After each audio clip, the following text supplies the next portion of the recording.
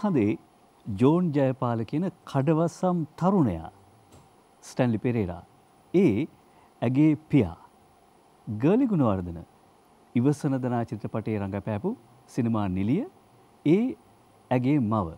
එනිසාම අවුරුදු තුනේදී ඇයත් ඇගේ රූපය සටහන් කරනවා සෙලෝලයිට් පටියේ එමනතං අර සැලියුලයිට් පටියේ. එහෙම බැලුවම ඈ ගත කරන කුවේර ජීවිතය එහෙමනැත්තම් කුමරි ජීවිතය දිහා බැලුවම අද මේ සියපත් පොකුරේ පිපෙන්නේ ඈ හරියට නෙළුම් මලින් උපන් කුමාරිකාවක්. එහෙමයි මම පටන් ගන්න හිටියේ මේ වැඩසටහන. හැබැයි මගේ අර්ථකථනය වෙනස් වෙනවා.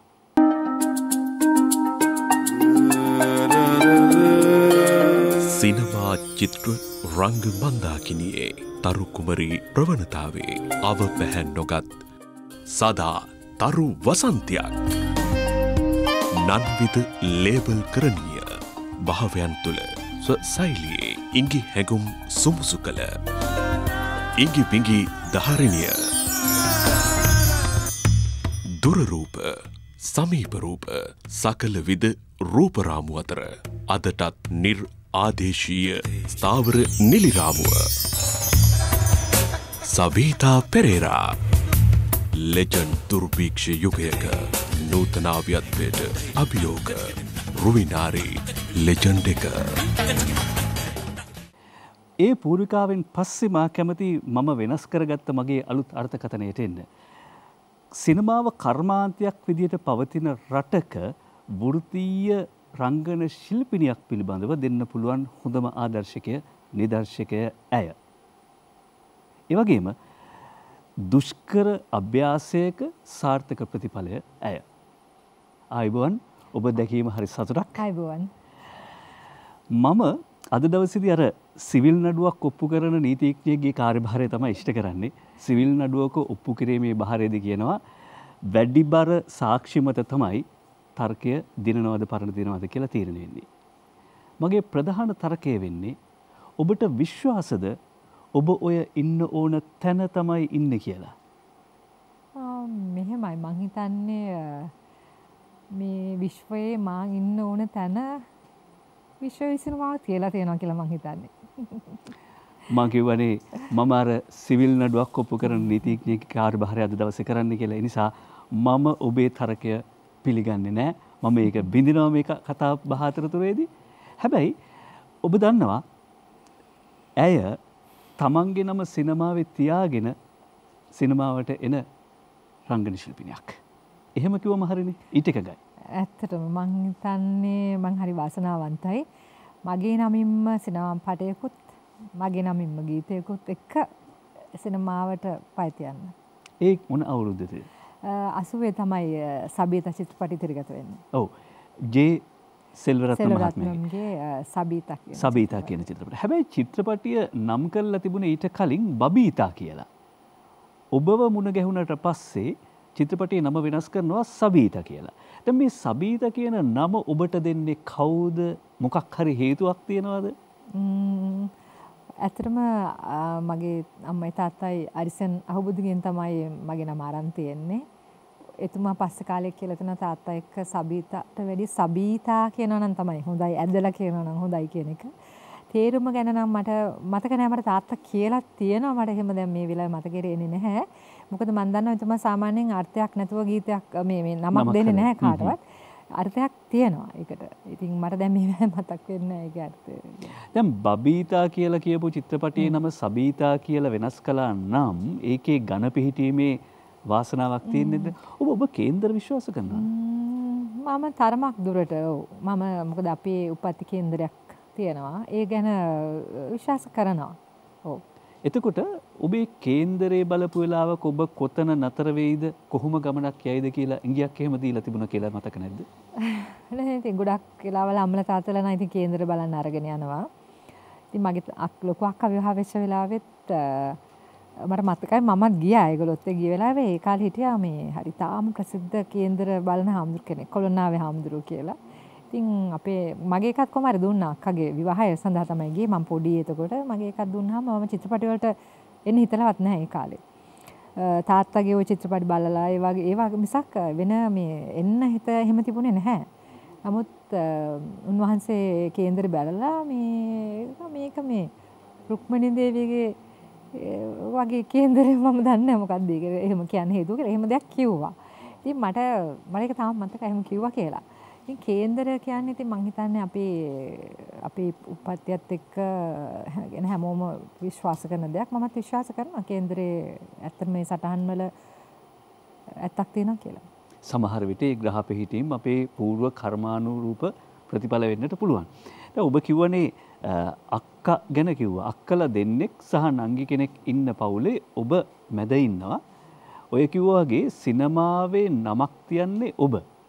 අම්මා තාත්තගේ හීනේ මොකක්ද තිබුණේ? ඇත්තටම මගේ අම්මටයි තාත්තගේ මට මට ඒක මට හිතෙනකොට මේ අදත් එක්ක බලනකොට ඒ අම්මලා තාත්තලා යාපු කාලය 50 දශකයේදී මේ සිනමාව ඒගොල්ලන් ඇත්තටම මම හිතන්නේ දේවත්වයෙන් සැලකුවේ. සිනමාවේ ප්‍රේක්ෂකයිනුත් එහෙමයි හැමදේම ඒ විදිහක තිබුණේ. ඉතින් අපේ තාත්තා අම්මා මට මතකයි අපේ තාත්තා නැති වෙනකම්ම ඇත්තටම සිනමාවට අම්මත් එහෙමයි හරිම හරියට ආදරය කරා. ඒගොල්ලොන්ට තිබුණ පුදුම ගෞරවයක්. හරි කැමති වුණා.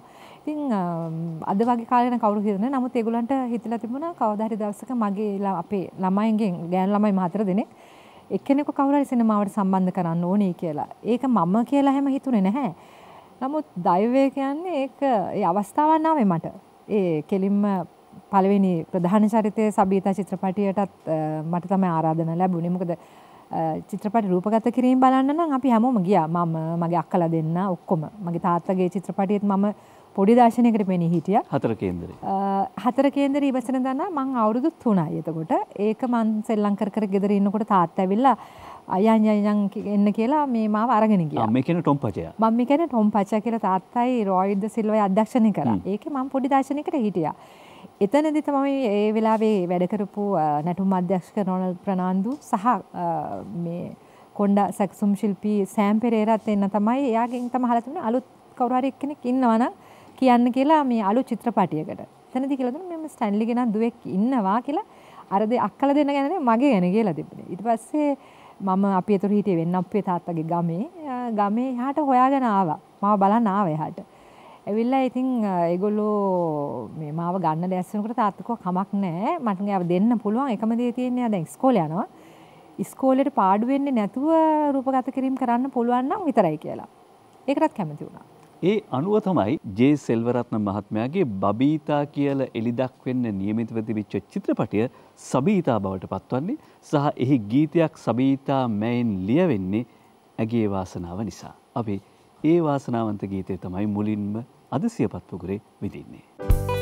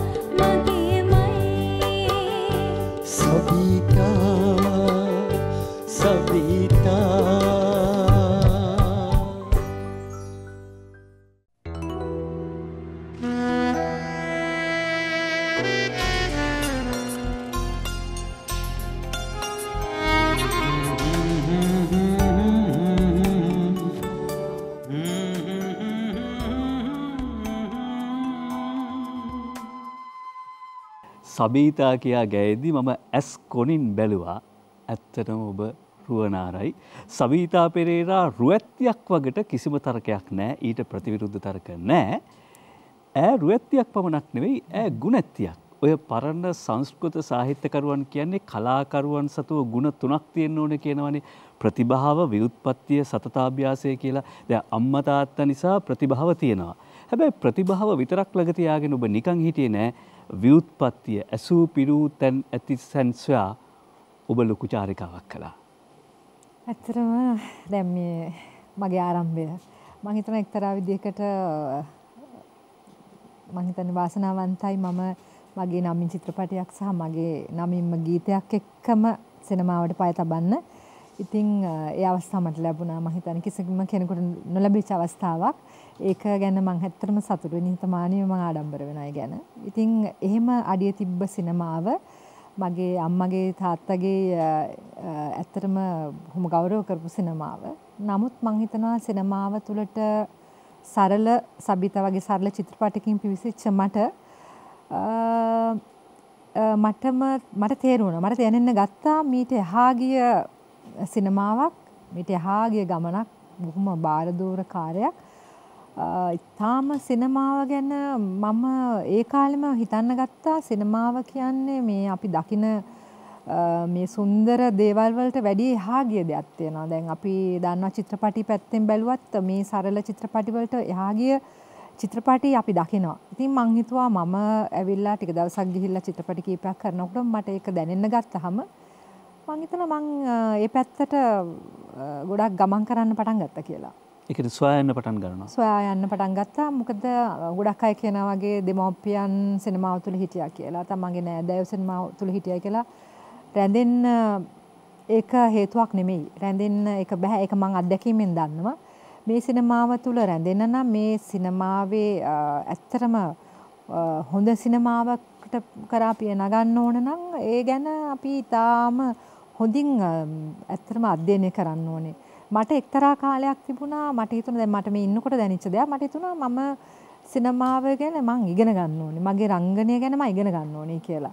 එක්තරා මොහොතක මට හිතුණා මං පූනා ආයතනයට ගිහිල්ලා රංගනය ගැන වැඩි වැඩිදුර අධ්‍යයනය කරනවා කියලා. මං කිව්වා ඊට ඊට පස්සේ මං ලංකාවට ඇවිල්ලා රඟපෑමේ නිරත වෙනවා කියලා. නමුත් මං සිනමාවට ඇවිල්ලා ඊට පස්සේ ගමනත් එක්ක මං ඊටාම කාර්යබහුල වුණා. ඉතින් ඇත්තරම එහෙම යන්න බැරි වුණා. නමුත් මට අවස්ථාව ලැබුණා. මට නොයෙකුත් තාම වටින ගුරුවරු ඉතාම වටින දේවල් ඒ වගේම මං ඒ අවස්ථාව ගත්තා මට හම්බුණා රසවින්දන පාඨමාලාවක් හදාරන්න. මං ඒ අවස්ථාවත් ගත්තා. වැඩ ඔක්කොම පැත්තක තියලා මං ඒකත් කරා. ඉතින් ඒ වගේ මේ ජනප්‍රිය චිත්‍රපට නිලියක් විදිහට ජනප්‍රියත්වයේ ඉන්න අතර ඔබ රසවින්දනය හදාරනවා. ඇත්තටම. ඉතින් ගොඩක් අය එහෙම අපි ওই විදිහට දකින්නේ නැහැ. දැන් ගොඩක් අය හිතන්නේ මේක සරල චිත්‍රපටිවල ඉන්න සින්දු කියන නටන සටන් කරන එහෙම කෙනෙක් කියලා. ඉතින් මම ඇත්තට මෙහෙම දේවල් මට කරන්න පුළුවන් කමක් තියෙනවා. මම හිතන මගේ රූපය තුලින් මට එහෙම දේවල් කරන්න පුළුවන් පෞෂ්‍යයක් තියෙනවා. ඒ එක්කම තමයි අනිත් සිනමාව බැලුවොත් ඒ සිනමාව තුල ගැමි චරිත ගැමි එහෙම චරිතාංග වගේ දේවල් කරන්න සංකීර්ණ මනෝභාවයන් ඒ කියන්නේ කාන්තාවක විදියට මුහුණ දෙන්න පුළුවන් සංකීර්ණ මනෝභාවයන් සහ සමාජ තත්ත්වයන් ඔබ ඔබ නිරූපණය කරන්න කොහොමද කියලා අපිට ටිකක් විස්තරතිව කතා කරන්න පුළුවන්. මගේ වයස කීයද? ඔයා බැඳලාද? වයස නම් බඳින වයස තමයි. හැබැයි තාම ලියලා දාලා. ලියලා දාලා නම් බැඳලා දාන්නද? නෑ කරදර වෙන්න එපා. මම බැඳ ගන්න ලණුවක් හම්බ වෙච්ච දාට.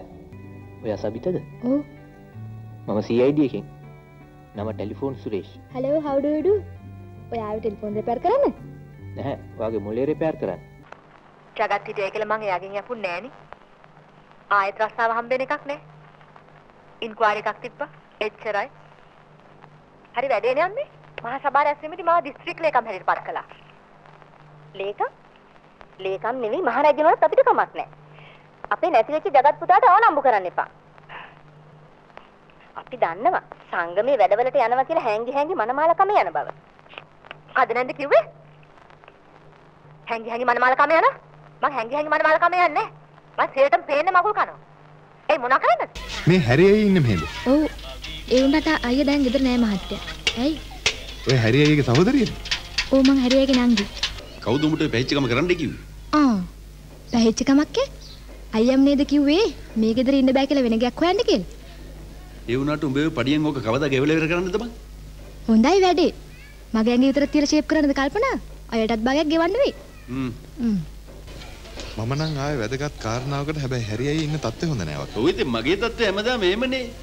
මෑ ආපු කාරණාව වැදගත් නම් අපි තත්ත්වයට බම්බු ගාණ්ඩි කියලා කෙලින්ම ටෝක් එකට බයිමු.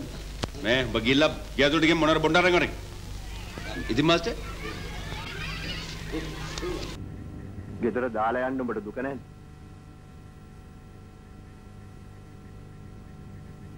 ගියාටයි මහත්තයා බලන්න එනවා. මම නම් හිතාගෙන හිටියේ උඹ පණ තියෙන කල් මෙහි ඉඳී කියලා. උඹට ඒ හැටි වයසක් නැහැ. දිනදාස වගේ මිනිහෙක් එක්ක උඹ යයි කියලා මම නම් හිතුවේ නෑ. මට හැමදාම මහත්තයා ළඟ ඉන්න පුළුවන්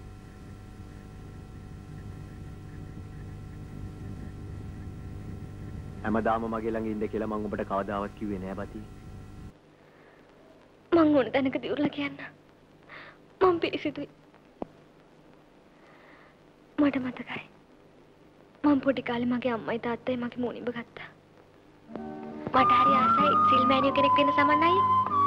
මොකද අපේ දැම්මම සසර කලකිරලා? තාම නෑ. කවදා හරි එහෙම දෙයක් වුණොත් මං පන්සලට වෙලා ජීවිතය ගෙනියනවා. සුජාතට හිතනවාද සසර කලකිරන විදිය මොකක් හරි වෙයි කියලා? එහෙමටත් නෙවෙයි. මට බය හිතෙනවා අනාගතය ගැන හිතනකොට. ඔබ මේ කියන කාලේ කියන්නේ 1980 දශකය කියලා කියන්නේ ඔබට ආසන්නතම පුරෝගාමින් හිටියා ආචාර්මාලිනී ෆොන්සේකා ඊට පස්සේ ගීතා කුමාරසිංහ ස්වර්ණා මල්ලවාරච්චි ඊළඟට මේ මේ ආදී චරිත කෙබ අනුජා වීරසිංහ ආදී පූර්වගාමින් හිටියා. ඊළඟට ඔබට සමකාලීනව මෙනවා වසන්ති චතුරානි වගේ නිර්මාණ ශිල්පිනියන්. මේ සියල්ල අතර ඔබ ඔබේ පාරක් හදා ගන්නවා අර කියපු කාරණාව වටිනවා. තමයි දැන් අම්මා තාත්තගෙන් මේක බෝන් ටැලන්ට් එකක් එමන සහජයෙන් ලැබුණා කියලා ඔබ නිකන් ඉන්නේ ඔබ මේක හදාරන්න පටන් ගන්නවා කියලා. දැන් එක තීරණාත්මක කඩයිමකට එනවා ඒ තමයි දෙවනි ගමන චිත්‍රපටය. බොහෝ විචාරකයන් කියන්නේ සබීතාගේ දෙවනි ගමන උනේ එච්.ඩී. ප්‍රේමරත්නයන්ගේ දෙවනි ගමන කියලා. අපි දෙවන ගමන චිත්‍රපටයේ ගීතයක් අහන්න කලින් මේ එළුඹ එළමුණු අවස්ථාව පිළිබඳ ඔබ කොහොමද මතක් කරන්නේ? ඇත්තටම දෙවෙනි ගමන මමත් හිතනවා මගේ සිනමාවේ දෙවෙනි ගමන. මොකද ඒ ඒ හරහා මට වෙනම ප්‍රේක්ෂකාගාරයක් ලැබුණා ප්‍රේක්ෂකයන් අතරට යන්න ලැබුණා. සහ මං හිතනවා මගේ ගැන විශේෂයෙන්ම ප්‍රේක්ෂකයන් දකින්න පටන් ගත්තේ දෙවෙනි ගමන හරහා. සහ මගේ මං ඒ වෙනකොට දෙවෙනි ගමන කරන්න ඉස්සලා චිත්‍රපට කීපයක් කරා. බංගලි වලුල කරලා තිබුණ මගේ ජන ජනප්‍රිය හස්තිවියරුව ඒ වගේ චිත්‍රපට කීපයක් සඳහා මගේ තාත්තගේ චිත්‍රපට ඒ වැනි චිත්‍රපට ගණනකට පස්සේ තමයි දෙවෙනි ගමන. ඒ වෙනකොට මම හිත ඇත්තටම හදාගෙන තිබුණා මේ කියන්නේ මට දෙවෙනි ගමන එච්.ඩි. ප්‍රේමරත්න වෙලා දෙනකොටම තිර රචනය මම ඒක බැලුවා. බලලා සුජාතා කියන චරිතය ඔයා කියන්නේ මං කීප සැරයක් කියවුවා. මං හිතුවා මම මේක හොඳටම කරන්න ඕනේ කියලා. මට ඒ වෙලාවේ හිතුණා. කියලා කියවලා කියවලා කියවලා කොමාරි ඒකත් එක තමයි මගේ තිර රචනයත් එක තමයි මම ඇත්තටම දෙවෙනි ගමන දර්ශනතලයට ගියේ. ඉතින් හිටියෙත් ඔක්කොම ප්‍රවීණයන් හිටියා. සුමිතා අමරසිංහ මහත්මයා තමයි කැමරාව, රවින්ද්‍රන්දනි මහත්මයා, සනන්ද ගුණතිලක මම. එතකොට මේ HT ප්‍රේමරත්නකින් හැම වෙලේම කියන්නේ යන ගමන ප්‍රපවා ඔහුගෙන් කියන්නේ ඔහොම යන්න එපා ඔහොම යන්න එපා ඔය විදිහට නෙමෙයි ඇවිදින්නේ. නොයෙකුත් ගුරු හරුකම් මම හිතනවා මගේ සිනමා ජීවිතය තුළ ඒ ගුරුවරුන් හමුවීම පටන් ගත්ත දවසේ ඉඳලා මගේ මේ පළවෙනි චිත්‍රපටයේ ඉඳලා ඊට පස්සේ මට හම්බෙච්ච ගුරුවරුන් මට පාසල් වගේ.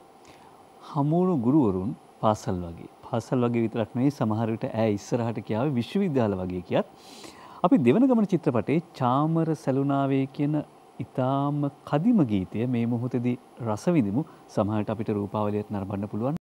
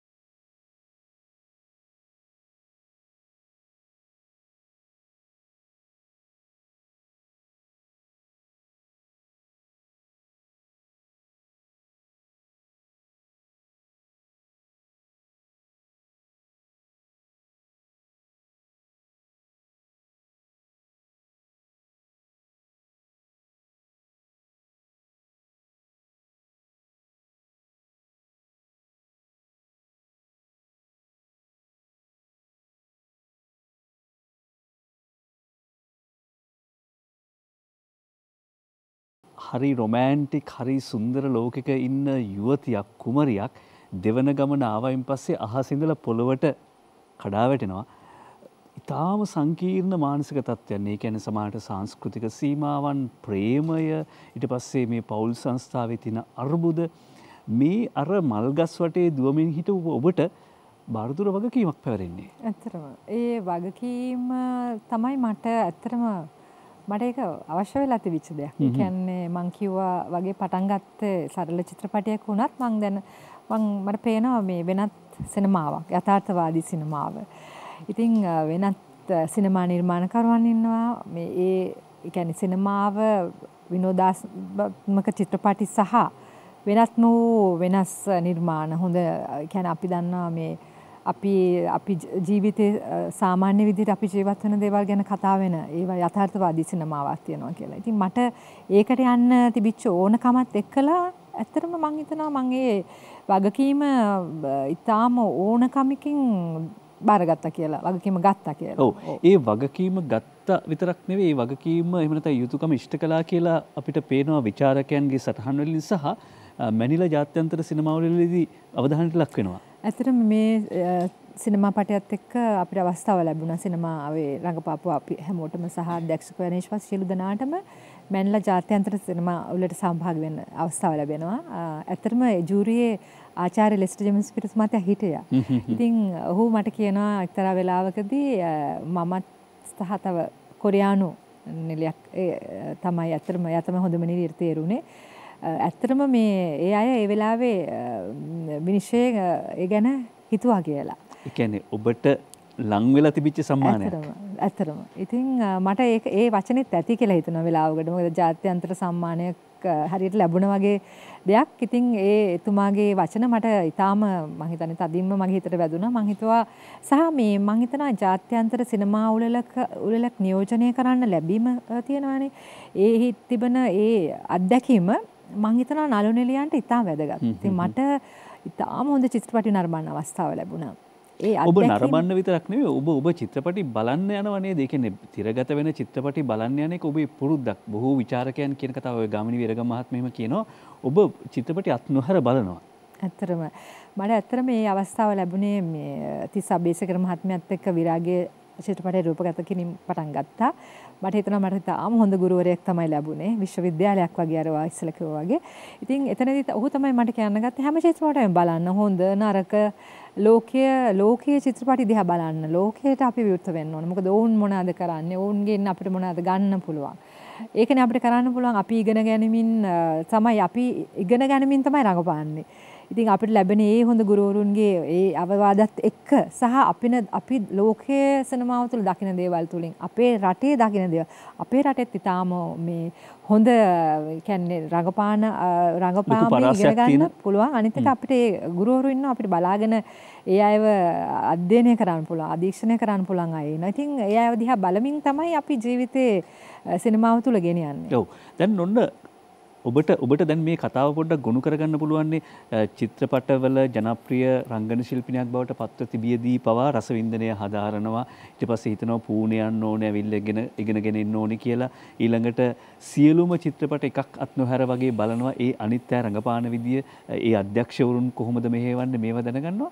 ඒ විතරක් නෙවෙයි ඔබ දර්ශන තලයට ගියාමත් නිකන් ඉන්නේ නැහැ ඇත්තටම. මං හිතුවා මේ මට ඉගෙන ගන්න අර තිබිච්ච ආසාවයි හැමදේත් එක්ක මං හිතුවා මේ රංගපාන විතරක් නෙමෙයි ඇත්තටම මේ ලයිටිං පැත්ත එතකොට කැමරාව පැත්තත් බලන්න හොඳම දේ තමයි අපි රඟපාන රඟපාන්න නැති වෙලාවල් වලට ගිහිල්ලා බලාගෙන ඉන්න එක. විරාගයේදී මට ඒ අවස්ථාව කොහොමත් ලැබුණා. මොකද මං විරාගයේ චිත්‍රපටයට සම්බන්ධ වෙන්නේ පාකිස්තානු චිත්‍රපටයකට උපත කිරීම වලින් පස්සේ ලංකාවට ඇවිල්ලා. ඉතින් මම එතකොට කප්පින වලව වේ දර්ශන උපත කිරීම බලන්න මේ කියන්නේ මම දර්ශන තලයට ගියාම තිස් අබේසේකර මහත්මයා මට කියනවා හරි ඉතින් දැන් පාකිස්තාන් ගතේ යන්න එක පොඩ්ඩක් ඉන්න කියලා. ඉතින් මං හිටියා. දවස් කීපයක් මම එහෙම තිබ්බා. ඉතින් හැබැයි මම ඒකෙන් උපරිම ප්‍රයෝජන ගත්තා. මම දර්ශන තලයට ගිහිල්ලා මට ෂූටින් නෑ. නමුත් දර්ශන තලයට ගිහිල්ලා මොනවද වෙන්නේ මොනවද කරන්නේ කියලා හොඳට බලාගෙන හිටියා. මොකද මට හරි මං හරි එතුමත් එක්ක වැඩ කරන්නත් මම හරි බයෙන් හිටියේ. මොකද මට මම කොහොමද මට කරගන්න පුළුවන් වේද? මම හොඳට කරයිද? මට ඒ තැතිකැන්ම හැමදාම තිබුණා. මගේ පළවෙනි චිත්‍රපටයේ ඉඳලා අවසාන චිත්‍රපටයේ අවසානයේට මම කරේ ඇඩ්‍රස් නැහැ කියන චිත්‍රපටයේ ඒ දක්වාම මට ඒ තැතිකැන්ම හැමදාම පටන් ගන්නකොට තියෙනවා. ඒ කියන්නේ මට මේක කරගන්න බැරි වේද? කොහොමද? කොයිතරම් අත්දැකීම් තිබුණත් ජීවිතේ සිනමාව තුල අත්දැකීම් තිබුණත් මට ඒක හැමදාම තියෙනවා. මම හිතන්නේ මේ දැන් අලුත් චිත්‍රපටයක් කරත් මට ඒක ඒක එහෙම තියෙයි. මොකද මට හිතෙනවා මම කොහොමද කරන්නේ? මට හිතෙනවා මේ තතිගැන්ම ඉතා හොඳ දෙයක්. මොකද එතකොට අපි කරගන්න තව තව හොඳින් කරන්න පෙළවෙනවානේ. ඔය කියන්නේ ඔබ කියන්නේ හැම හැම නිර්මාණයක්ම ඔබට අර අසයින්මන්ට් එකක් ඇගීමක් අභ්‍යාසයක්. අලුත් දෙයක්. ඔව්. දැන් විරාගයේ චිත්‍රපටය ගැන අපි ටිකක් විස්තර විස්තර ඇතුව කතා කරමු. දැන් ඔබ කිව්වනේ දර්ශන තලයට යනවා කොහොමද ආලෝකකරණය ඔබක කැමරාව ගැන ඔබට ලොකු උනන්දුවක් තිබුණා කියලා.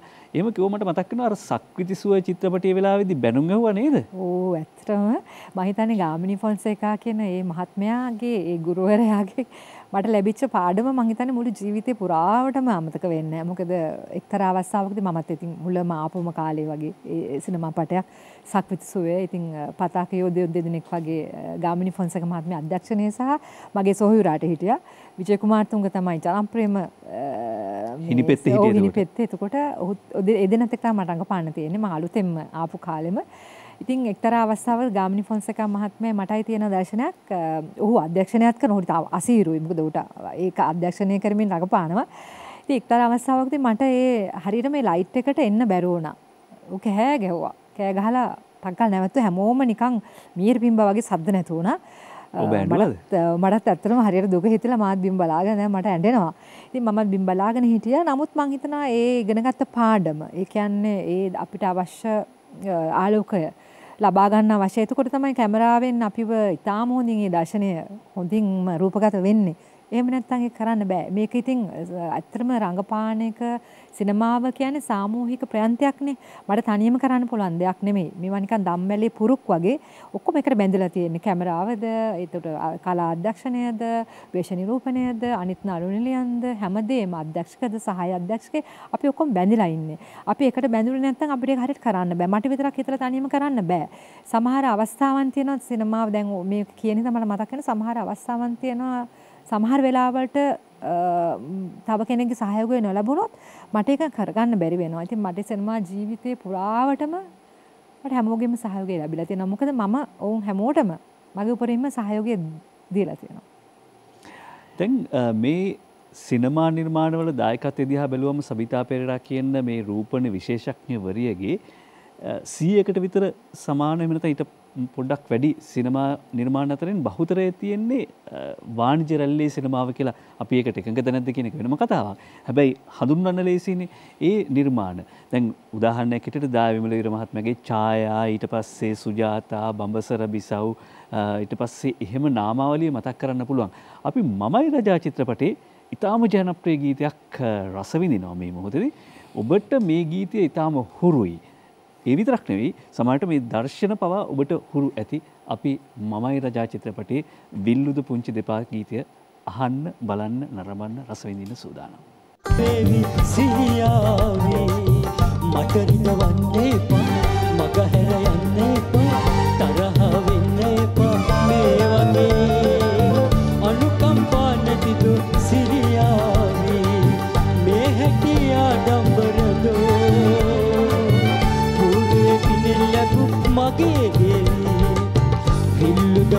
දෙපා කළු කරගන්න එපා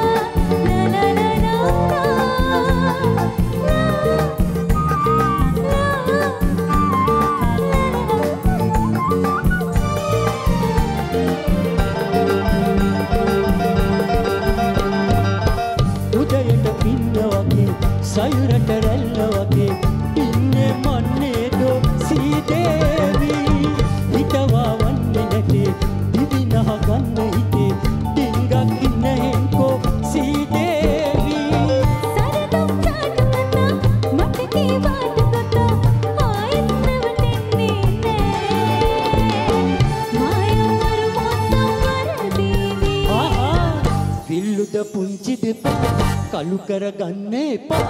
අව්වට යන්න එපා. දාවනේ අවලස්සන වේවි සිරියාවී.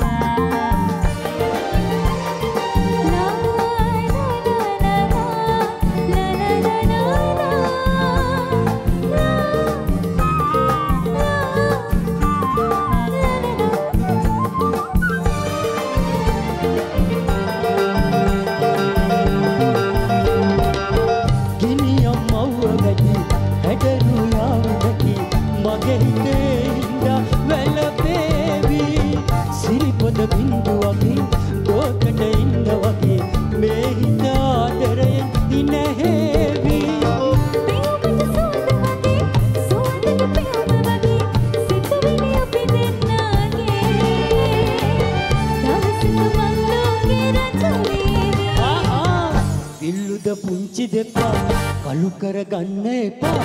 අව්වට යන්න එපා. දාවනේ අවලස්සන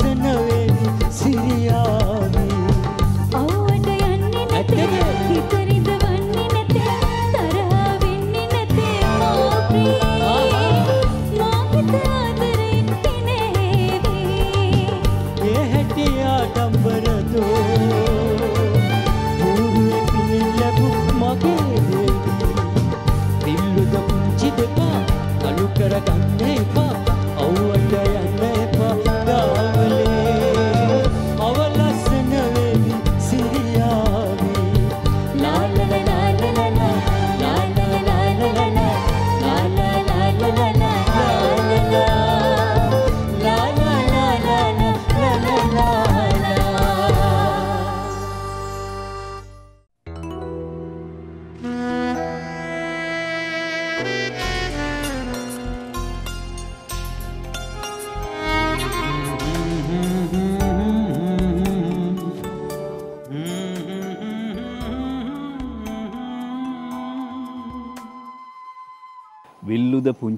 පුංචි දෙපා කළු කර ගන්නේ නැතේ අව්වට යන්නේ නැතේ කියලා ඔය කමර්ෂල් ෆිල්ම්ස් වල ජනාකර්ෂණ චිත්‍රපටිවල කිව්වට නිර්මාණයක් වෙනුවෙන් නොකරන දෙයක් නෑ. ඒක අපි ඉස්සරහට කියන්නම්. දැන් අ, සබීතා පෙරේරා යනු කවුද කියලා හොයන එක අද සියපත් පුකුරේ කාර්යභාරය නෙවෙයි. ඔබ ඔබේ ජංගම දුරකථනට ගිහිල්ලා සබීතා පෙරේරා කියලා ටයිප් කළයින් පස්සේ ඔය Google වගේ පිරික්සුම් යන්ත්‍රයකින් ඔබට නම ගම සියලු තොරතුරු සහ චිත්‍රපටි නාමාවලි ඒවා එනවා. එනිසා මම කල්පනා කරන්නේ නෑ මේ කාලයේ වටිනා කාලයේ මිඩංගු කළ යුතුයි කියලා ඒ චිත්‍රපටයෙන් පස්සේ මේක මොකද්ද මේක මොකද්ද ආදී විදිහට ඇඟිල්ලෙන් ඇඟිල්ල අහන එක. හැබැයි එක කාරණයක් තියෙනවා මේ දැන් විල්ලුද පුංචි දෙපා වගේ චිත්‍රපටි අපි ගීත ඇහුවයින් පස්සේ ඔබ ජනප්‍රිය සිනමාවේ ජනාකර්ෂණීය චිත්‍රපට කර්මාන්තයේ නැතුවම් බැරි චරිතයක් බවට පත් වුණා. ඒ ඉටු කරපු කාර්යභාරය පිළිබඳ ඔබට යම් තක්සේරුවක් ඇතිනේ මේ වෙද්දී. ඇතටම මම ඇත්නේ දැන් මේ සංගීතය ඇහෙනකොට මට හිතෙන්නේ අපි ඒ ගොඩක් ඒ අමරණීය හඬවල් මං හිතනවා අපිව සිනමාව තුළ බොහෝ ඉහළට ඔසවා තැබුවා. ඉතින් ඒ හැමෝටම අ, අපේ සිනමාව තුළ ඉන්න ඒ අද්විතීය ගායිකාවන් ගේ කටහඬ හුඟක් චිත්‍රපටිවලට මට ලබා දීලා තියෙනවා. උන්ට මම මේ වෙලාවේ මගේ හිසනම මම ආචාර කරනවා. මං හිතනවා ඒ හඬවලුත් එක්ක මේ ජනප්‍රිය සිනමාව තුළ ඇත්තටම මේ අ, මිනිස්සුන්ව ප්‍රේක්ෂකයින්ව වෙනත්ම වූ ලෝකවල් වලට ගෙනියන්න පුළුවන්කම ලැබුණා. ඇත්තටම මට අ, ඕන වුණා ඇත්තට මගේ සිනමා ජීවිතය සමබරව ගෙනියන්න. ඒ කියන්නේ අපි දන්නවා ප්‍රේක්ෂකාගාර දෙකක් තියෙනවා කියලා. කියන්නේ ගොඩක් අය කැමති සිනමා ශාලාව තුළට ගිහිල්ලා අ, සාමාන්‍ය රසවින්දනයක් ලබාගෙන ගෙදර එන්න. තව අය කැමති චිත්‍රපටිය බලලා ඒ ගැන හිතන්න, ගෙදර ගිහිල්ලා ඒ ගැන තවත් හිතන්න, සහ ඒකෙන් දෙයක් Tamanට ඉගෙන ගන්න පුළුවන්ද දෙයක් අ, මේ රටට දෙ- රට මේ රටේ මේ තියෙන දේවල්ුත් එක්ක Tamanට මොනවාද ඒකෙන් ලැබෙන්නේ කියලා හිතන්න පුළුවන් විදිහේ දේවල්. ඉතින් අ, ඇත්තටම මමත් කැමති චිත්‍රපටයක් බලලා ගෙදර ගිහිල්ලා ගැන ගොඩාක් හිතන්න. එහෙම චිත්‍රපටි වලට මට සම්බන්ධ වෙන්න ලැබුණා. මගේ වැනි චිත්‍රපටි ගොඩක් නරඹලත් තියෙනවා. ඉතින් නමුත් අ, ඇත්තටම මේ මම හිතනවා හැම දෙයකටම වැඩිය.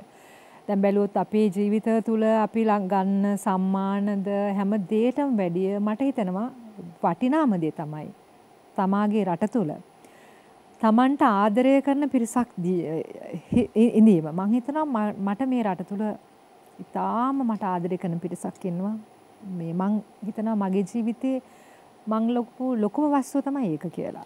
ඔබට එහෙම කිව්වම මට තවත් දෙයක් එකතු කරන්න පුළුවන්. ඒ තමයි ඔබට ආදරය කරන පිරිස රසිකයන් මේ රටේ විතරක් නෙවෙයි පාකිස්තානෙත් ඉන්නවා. ඇත්තටම මට එහෙම ඇත්තටම එහෙම අවස්ථාවක් ලැබුණා. පාකිස්තාන් චිත්‍රපට්ටු වලට සම්බන්ධ වෙන්න ලැබුණා. ඒ කියන්නේ අපේ කර්මාන්තය ටිකක් ඇත්තටම එක කාලයක් තිබුණා මේ අ, 90 විතර වගේ 90 80 කියන්නේ 89 88 කාලේ පොඩ්ඩක් චිත්‍රපටි හැදෙන අඩු හ්ම් හ්ම්. රටේ කාලයක්. පැවතිච්ච තත්ත්වයක් ඔව් එක්ක. ඉතින් ඒ අතරතුර තමයි අ, අධ්‍යක්ෂකවරයෙක් නිෂ්පාදකවරයෙක් ලංකාවට ඇවිල්ලා ඔහුගේ චිත්‍රපටයට අලුත් කෙනෙක් හෙව්වා. එතකොට මගේ රෝසි කියන චිත්‍ර සිනමාපටය සිනමා හල්වල තිරගත වෙනවා. ඔහු ඒක බලලා කහ- ඔහු හිව කවුද මේ කියලා මට අවස්ථාව ලැබුණා.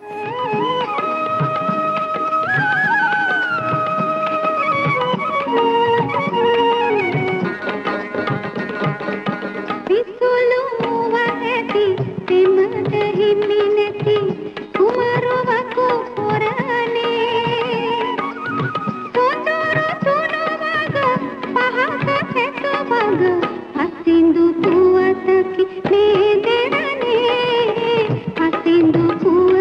හිමි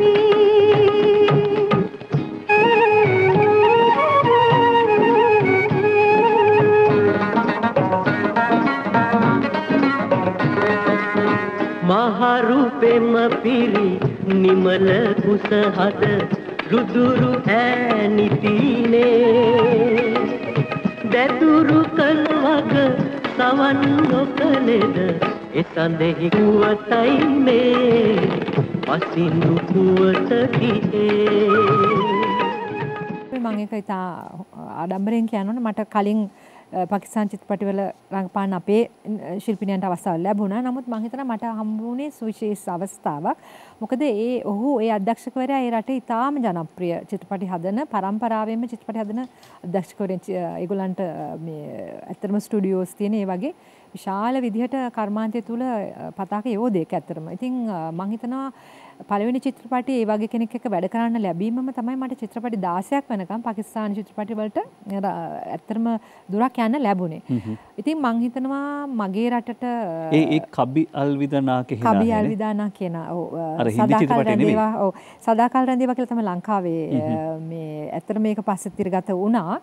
ඒ චිත්‍රපටිය ඇත්තටම කරාට පස්සේ තාම සාර්ථක වුණා. ඉතින් ඊට පස්සේ ඔහුගේ දෙවනි, තෙවනි, හතරවෙනි වගේ චිත්‍රපටි වලට මට ආරාධන ලැබුණා. ඒතකොට ඒ රූපගත කිරීම කරගමින් ඉන්නකොට උගක් කට්ටියල මට ආරාධනා කරා. ඉතින් 16ක් වගේ චිත්‍රපටි කරන්න අවස්ථාව ලැබුණා. ඉතින් එකම ලොකුම දේ තමයි කවුරු මන් දන්නේ සමහරට අපිට ඒක අඩු තක්සේරුවක් කරන්න බෑ පාකිස්තානු චිත්‍රපටයක් කියලා. මොකද හේතුව මට හිතනවා මට ඒ තරම් දුර යන්න පුළුවන් වුණෙත් අ, ඒක ඉතාම අ, වෙහෙසකාරී කාර්යයක්. මොකද අ, දෙබස් පාඩම් කරන්න තියෙනවා. මට නුහුරු අ, අයත් එක්ක තමයි වැඩ කරන්න තිබුණේ. සම මට ඒ හැබැයි එකම දේ තියෙන්නේ මට ඒ රටෙත් ඉතාම හොඳ අධ්‍යක්ෂකවරුත් එක්ක වැඩ කිරීමේ අවස්ථාව ලැබුණා. මම නොයෙකුත් රටවල් වල ගියා රූපගත කිරීම කරන්න. නේපාලය, බැංකොක්, අ, එතකොට හොංකොං ඒ වගේ රටවල් වලටත් මට මේ චිත්‍රපටිත් එක්ක යන්න හම්බ වුණා. මැනිලා නුවරත් ඇත්තටම චිත්‍රපට රූපගත කිරීම වගේක් කරා.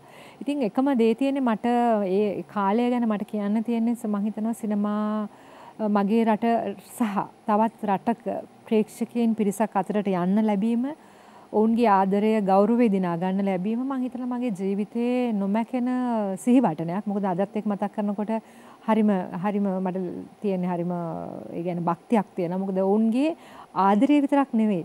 මට ඔවුන්ගේ අගෞරවයක් ලැබුණා. මං හිතනවා ඒක ඔබ ගෞරවය ගැන කිව්වම දැන් ඔබ බොබී රූබි ඊට පස්සේ අල්ෂකාර් වගේ චිත්‍රපටිවල අල්ෂකාර් නාදියා ඔව් සබ්සේ බඩ්කර් ඒක ඔන්න වගේ ගොඩාක් චිත්‍රපටි ඒ වගේ දාසයක්නේ තව. ඒක ඒගොල්ලොන්ගේ රටේ තියෙනවා තව පංජාබි චිත්‍රපංග පංජාබ් චිත්‍රපටි එකත් රඟපෑවා.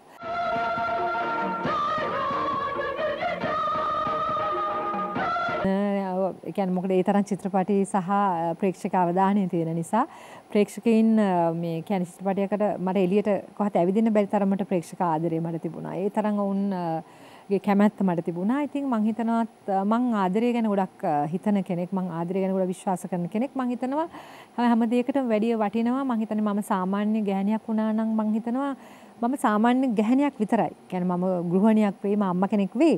නමුත් අ, සිනමා ශිල්පිනියක් වීම තුලින් තමයි මං හිතනවා මට මුළු රටකම ආදරය දිනන්න පුළුවන් වුණේ සහ තවත් රටක ආදරය දිනන්න පුළුවන් වුණේ. මම මේ කතාව ආරම්භයේදීම කිව්වා ලංකාව සිනමා කර්මාන්තය ඒ කියන්නේ ඉන්ඩස්ට්‍රි එකක් විදිහට ෆිල්ම් ඉන්ඩස්ට්‍රි කියලා එකක් ලංකාව තුළ පවතින්න ඕනයි කියලා විශ්වාස කරනවා නම් ඊට වෘත්තීයමය දායකත්වය ලබා දෙන රංගන ශිල්පිනියක් පිළිබඳ දෙන්න පුළුවන් හොඳම නිදර්ශනයක් කියලා. ඒකට දැන් ඔන්න ඔබට සාක්ෂි පැහැදිලි වෙනවා.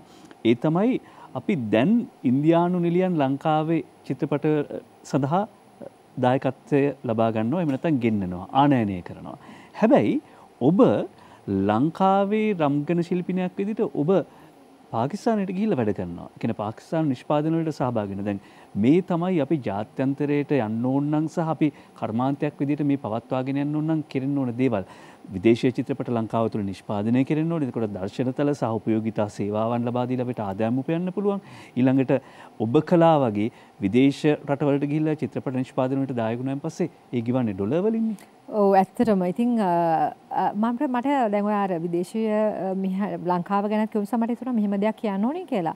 දැන් ඒ රට තුලත් එහෙම සිනමා නි- ශිල්පිනන ආකර්ශනීය අය නැතුවා නොවේනේ. ඒතර අපේ රටෙත් එහෙම නෙමෙයි. නැතුව නෙවෙයි. අපේ රටෙත් ආකර්ශනීය අය නැතුවා නොවේ ආනයනය කරන්න හේතුව. ඒක තමයි මම හිතන්නේ අ, ඒ ඒ ඒ වෙලාවේ ඇති වෙන වෙනස ආකර්ෂණය තමයි වෙන්නේ. දැන් ප්‍ර- පාකිස්තානෙත් ඒ කාලේ මම දන්නවා ඉතාම ජනප්‍රිය ඉතාම ලස්සන ඉතාම දක්ෂ නළුනියන හිටියා. මට හම්බෙලා තියෙනවා වැඩ කරලා තියෙනවා.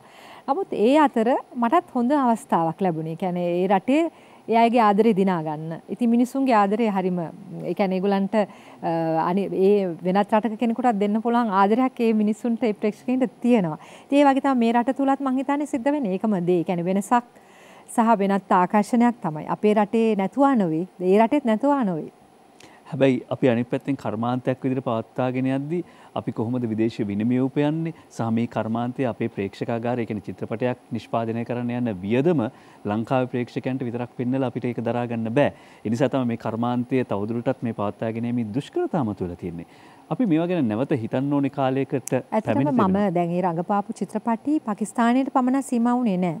පාකිස්තානය ඊට පස්සේ ශ්‍රී ලංකා බංග්ලදේශ් මැද පෙරදිග රටවල ඒ රටවල ඒ ඒ වගේ මේ ඒ සාමූහික ඒ වගේ ඒ කෝ ප්‍රොඩක්ෂන්ස් විදිහට තමයි ඇත්තටම චිත්‍රපටි වුණේ. ඒ කියන්නේ රටවල් ගණනාවකම ඒ චිත්‍රපටි තිරගත වුණා.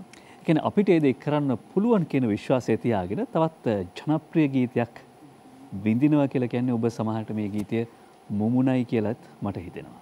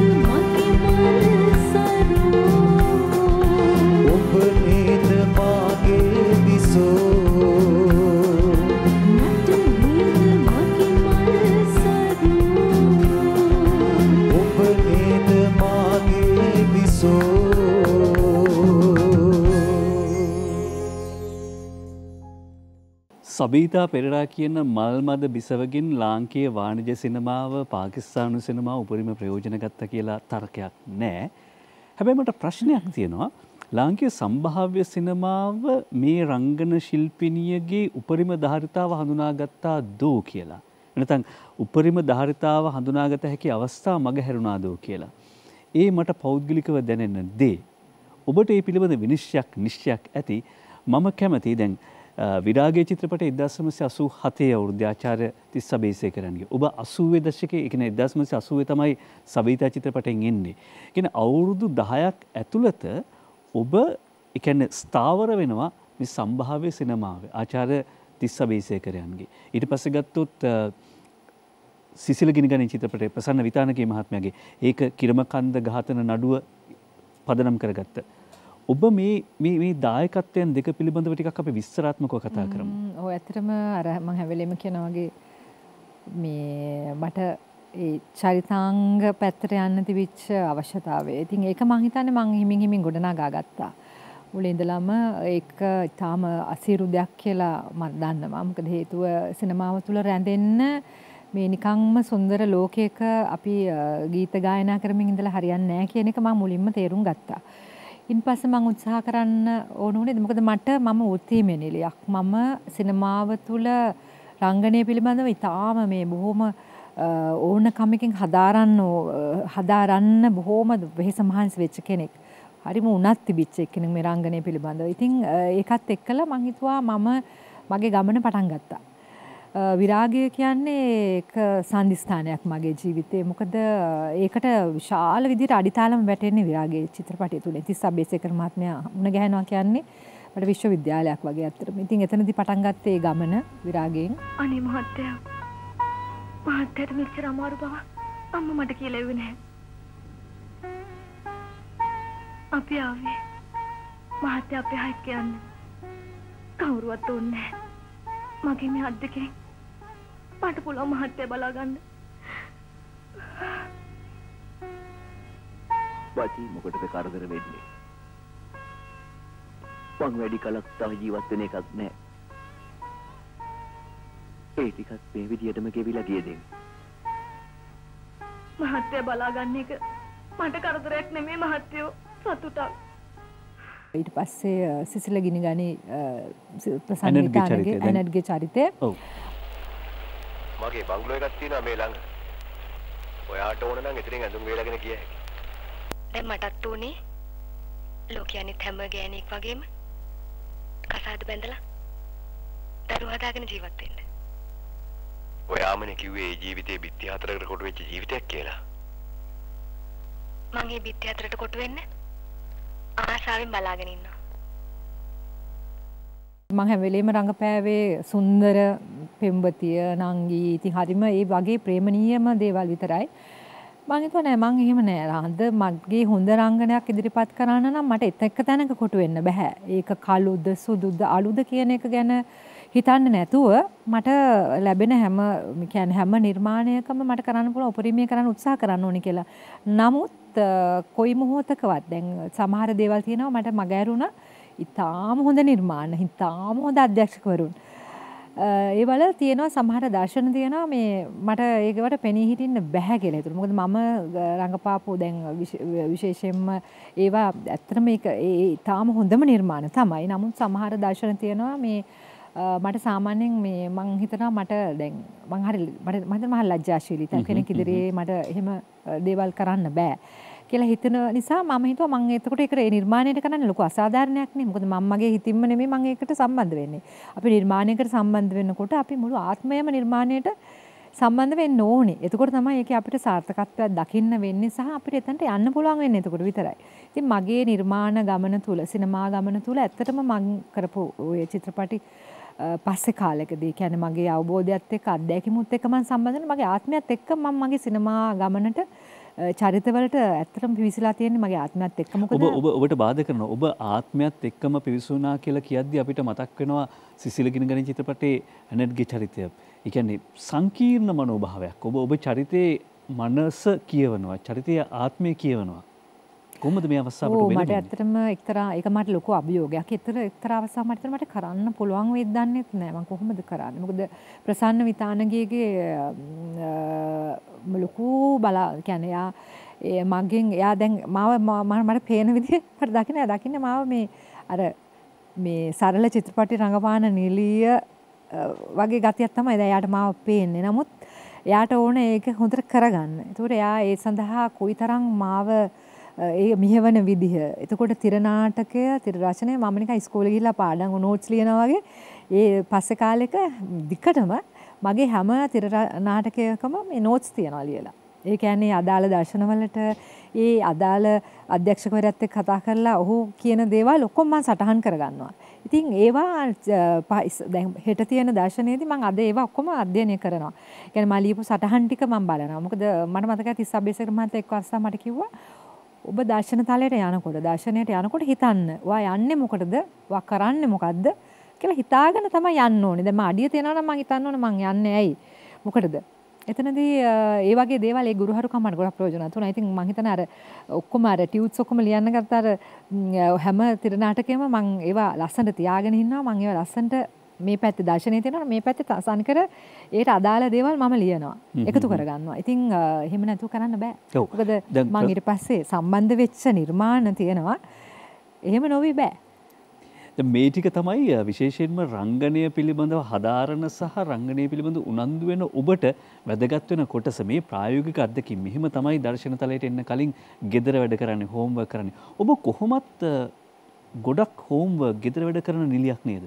රංගන ශිල්පියා. මම ඇත්තටම මම කැමති හැමෝම දැන් දර්ශන තලයට එනකොට හැමෝම විනය වෙලාවට වැඩ කරනවා නම් විනය අතුව වැඩ කරනවා නම් ඇත්තට මම ඒක ඉගෙන ගත්තෙත් මේ සිසල ගිනි ගනි කරද්දි මම ඊට කලින් නම් ඒ තරම් ගැන මම හිතන්නේ ඒ තරම් විදිහට හිතුවේ නෑ නිලේන්ද්‍ර දේශප්‍රිය මහත්මයා තමයි සහාය අධ්‍යක්ෂක. හයට කිව්වොත් අපි හයට එතන ඉන්න ඕනේ. ඒතකොට අපි හරියටම ඒකට සූදානම් වෙලා ඉන්න ඕන. ඇත්තටම මේ චිත්‍රපටි ඒ වැඩ කිරීමෙන් අර විනය කියන එක ගැන මට ලොකු අවබෝධයක් හම්බුණා. ඊට පස්සේ ගොඩාක් කල් යනකම් දිකටම හැම සිනමා පටයක් තුළම මම මගේ විනය පවත්වන්නත් අනිත් අයගෙන් බලාපොරොත්තු වෙන්නත් මම උත්සාහ කරා. මොකද මම හිතනවා එහෙම වුණොත් තමයි අපිට හරි දෙයක් දෙන්න වෙන්නේ. අප වෙන දේවල් එක්ක මම හිතන්නේ අපිට මේක සම්බන්ධ වුණොත් අපේ කරන දේ අපිට හරියාකාරව ඉෂ්ට කරන්න බැරි වෙනවා. අපිට හරි ඒකට හරිම සාර්ථකත්වයක් දෙන්න බැරි වෙනවා. හරි ප්‍රතිඵලයක් ගන්න බැරි වෙනවා. ඉතින් මම හැම වෙලෙම පස්සේ උත්සාහ කරා මම කරන කියන දේ ඉතාම උපරිම විදිහට කරන්න. සමහර වෙලාවට දැන් කියන්නකෝ දේශපාලනික වශයෙන් කියලා දේශපාලනය එක්ක මට කිසිම සම්බන්ධයක් නැහැ. නමුත් මට එක්තර අවස්ථාවක් ලැබෙනවා දේශපාලනික චරිතයක් රඟපාන්න. දණ්ඩේ ලුණු දණ්ඩේ ලුගිනි සුදත් මහා දිවුල්වාගේ ටෙලිනාට්‍යයේදී. එතකොට මට රඟපාන්න වෙන්නේ එන්.එම්. පෙරේරා මහත්මයාගේ බිරිඳ සෙලිනා පෙරේරා මහත්මිය විදියට. ඇයි තාම වාමාංශික ව්‍යාපාරය තුළ ඉතා වැදගත් චරිතයක්. ඉතින් මං කොහොමද නිකම්ම මේ සබීතා පෙරේරා කියන කෙනා කොහොමද සෙලිනා පෙරේරා එහෙම වෙන්න බැහැනේ. ඇය වෙන්න නම් ඇය ඒ ඉන්න තැන ඇය මට ලොකු අධ්‍යයනයක් කරන්න වෙනවා. ඉතින් මං අධ්‍යයනය කරා.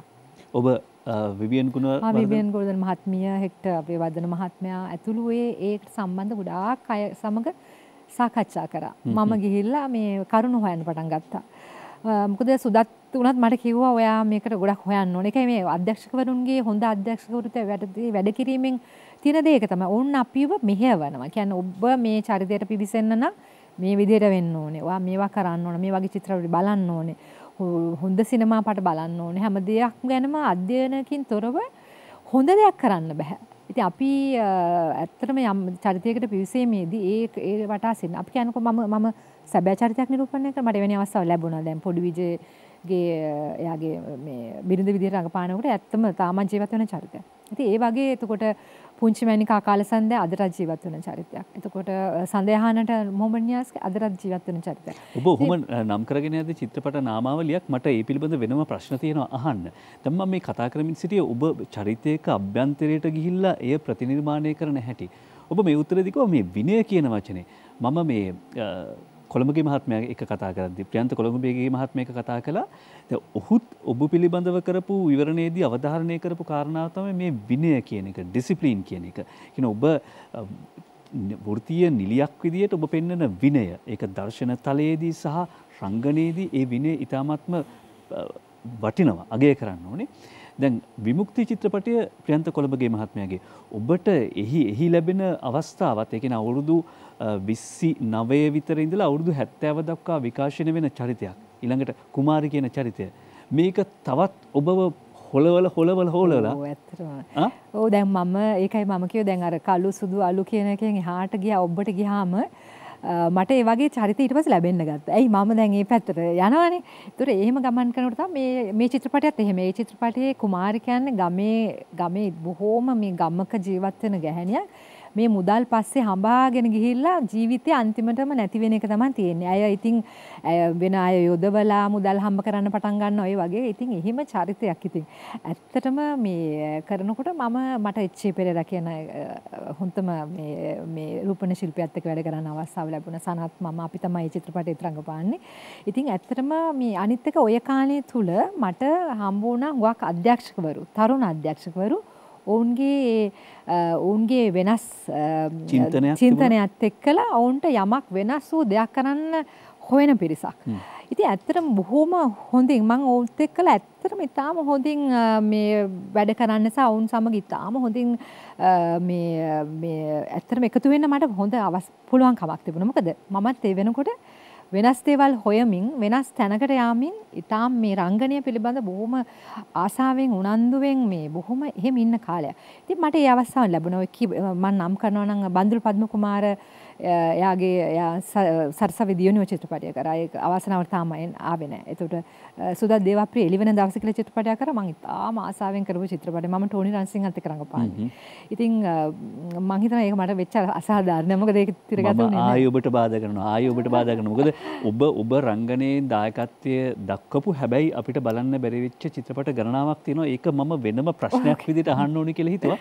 මේ මේ විමුක්ති චිත්‍රපටය පිළිබඳව අපි කතා කරපු නිසා ඔබ එක තැනක් උළුප්පා දක්වන්න කැමති අර එච් පෙරේරා මහත්මයා සහ අපි ඔහුව ගෞරවයෙන් සිහිපත් කරනවා මේ ජීවන රංග මණ්ඩලයේ නැති ඔහුව ඔබ අතට සල්ලි දීලා හෙට හවස 6ට එන්න කියලා කියනවා.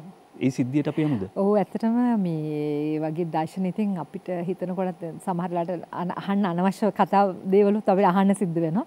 ඉතින් මං හිතනවා අපිට එක්තරා අවස්ථාවක් තියෙනවානේ දැන් අපි රංගනයත් පැත්තෙන් මම හැම වෙලේම හිතුවේ ඒකයි. රංගනයක් කරනකොට අපිට ඒක උපරිම විදිහට කරන්නත් ඒක යථාර්ථවාදී වෙන්නත් අපි ඇත්තට මෙතනටම යන්න ඕනේ. මං ගොඩාක් වෙලාවට ඒ වගේ චරිත කරන්න කරපුවාමත් ඇත් කරන වෙලාවල් වලදී ඇත්තටම මම මගේ වේශ නිරූපණය ගැනවත් ඒ හැමදේම අනිතට බාර දුන්නා.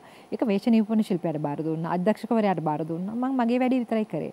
එතකොට මං හිතනවා මං කරන්න ඕන දේ සහ අධ්‍යක්ෂකවරයාගේ ඔළුවේ තියෙන චරිතය හොඳින් කරන්න මං මැටි පිඩක් විදිහට හිටියොත් තමයි ඔහුට ඒක හරියට මගෙන් හරියට කරගන්න පුළුවන් වෙන්නේ කියලා. ඉතින් මං ඒ විතර හිටියා. මං මගේ මගේ රූපය ගැනවත් මං ලස්සනද මං එමෙ හිතන්න ගියේ නෑ. ඔය වගේ චිත්‍රපට දැන් ඔය විමුක්තියකෙත් එහෙමයි. ගොඩාක් දර්ශන තිබුණා මේ මගේ මට මගේ අමතක කරන්න සිද්ධ වෙච්ච දේවල්. වගේ ගොඩාක් දේවල් චරිත තියෙනවා. ඉතින් මං මම කෙලින්ම අමතක කළා මං කුමාරි නම් ඒ කුමාරි එකට අදාළ දේවල් ඇඳුම් පැළඳුම්ද වේශ නිරූපණයද හැමදේම ඉරියව්ද කතාබහ හැමදේම ගමන් බිමන් පවා වෙනස් කරන්න මං ගොඩාක් උත්සාහ කරලා තියෙනවා. ඒකට මට අධ්‍යක්ෂකවරුන්ගේ ඇත්තටම පුදුම සහයෝගයක් ලැබිලා තියෙනවා. විමුක්ති චිත්‍රපටයේදී ඔබ ඔබ හඬ උච්චාරණය කරන විදිය පවා වෙනස් කරන්න වෙනවා. ඒ ඒ එහි තියෙන අර තාරතාව වෙනස් කරන්න සිද්ධ වෙනවා. අපි අර කලින් කිව්ව එච්.ඒ. පෙරේරා මහත්මයා කියන නළුවෙක් විදිහට ඔහු ඔහු ඇවිල්ලා මුදල් අතර දීලා කියනවා හෙට හවල් වෙලාවට මාගාවට එන්න ඕනේ, හවල් තැනට එන්න ඕනේ. ඔබ මේක කරන්න කැමැත්තෙන් නෙවේ. ඒ අභ්‍යන්තර මානසික තත්ත්වය එක ඔබට වෙන්න විකල්පයක් නැති නිසා මේ මොහොතද ඒ මුදල වෙනුවෙන් ඒදේ කරනවා. හැබැ ඔබේ ආත්මය කියයාහිටනො නෑ උඹ එක කරන්න එපා කියලා. ඔබ ඒක ඒ ඒ විගටනය පෙන්නන හැටි හරි කදිමයි. සහ චිත්‍රපට අවසාන වෙද්දි සියල්ල ගොඩනගාගන්නවා සල්ලි තියෙන ඔබට. හැබැයි සල්ලි මොනවා කරන්න දර චිත්‍රපටේ මුදල් නෝටටික මෙහෙම විසි කරන දර්ශන. ඒවා නැවතවතාවක් මහිතන්නේ ඇත්තම කතාව නම් අපි මේ ජීවිතය තුළ මේ ලෝකයේ තුළ මේ සමාජය තුළ අපි වගේ අය ගොඩාක් දකිනවානේ. ඒවා ඒවා තමයි හැම වෙලෙම අපේ මනස තුළ ඒවා රැඳෙනවානේ. අපි දකින්නේ වගේ ගෑනු ගෑනුන්ට මුණ දෙන්න වෙන ප්‍රශ්න. එතකොට කැමැත්තෙන් හෝ අකමැත්තෙන් දේවල් කරන විදිහ. ඉතින් මමත් මං හිතනවා ඇත්තටම සාමාන්‍යයෙන් ඇත්ත ජීවිතේ කාන්තාවගේ දෙයක් තමයි මම ඒ නිරූපණය කරේ එතනදී. සාමාන්‍යයෙන් චිත්‍රපටයක රූගත කිරීමකදී මහන්සි වෙනවට වඩා වැඩිපුර මහන්සියක් දරන්න වෙනවා ටෙලිනාට්‍යයක. ඒ කියන්නේ හොඳ බර ටෙලිනාට්‍යයක රංගනයේ යෙදෙද්දී. අපි ටෙලිනාට්‍ය කියන කඩයිම පනින ලෑස්ති. මේ බලන්න මේ ගීතය ඇසල කළුවර ටෙලිනාට්‍යයේ ඇහුණු ගීතයක්. ඇසල කළුවර කියලා කියන්නේ කවියක් බඳු ටෙලිනාට්‍යයක්. අපි ඉස්සල ගීතය රස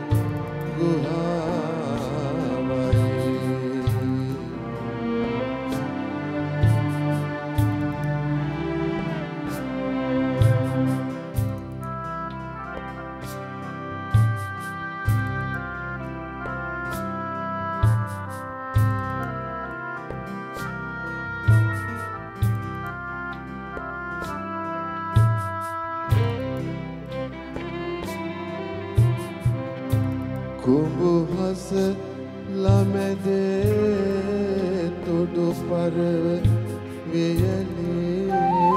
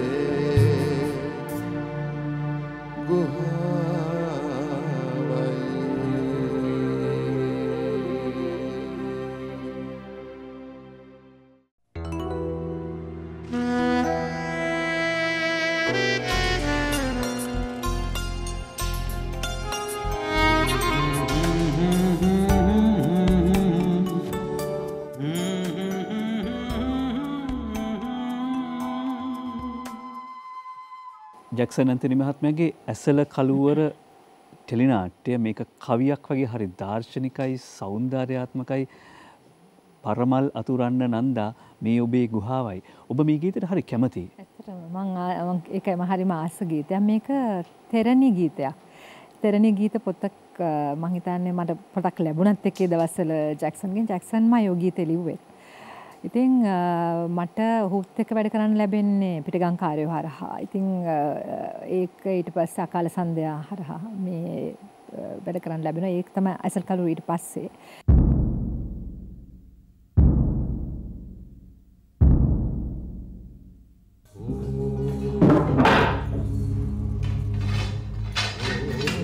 නවතින්න දෝනී දෙමසක දරු ගැබ කුසදරාගෙන කුණ්ඩලිනී ශක්තිය දිනූ අංගම් සූරයෙක් සමග සටන් කරන්න පුළුවන්ද.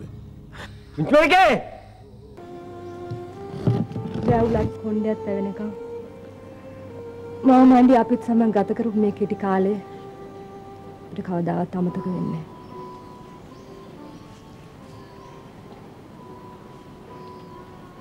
මං අද පහන් පූජා කරලා ප්‍රාර්ථනාවක් කළා මාමණ්ඩි. මම ප්‍රාර්ථනා කළා. මතු ආත්මික ඔබගේ දරුවෙක් කියලා උපදින්න. නාත පල්ලා. පල්ලා කිය.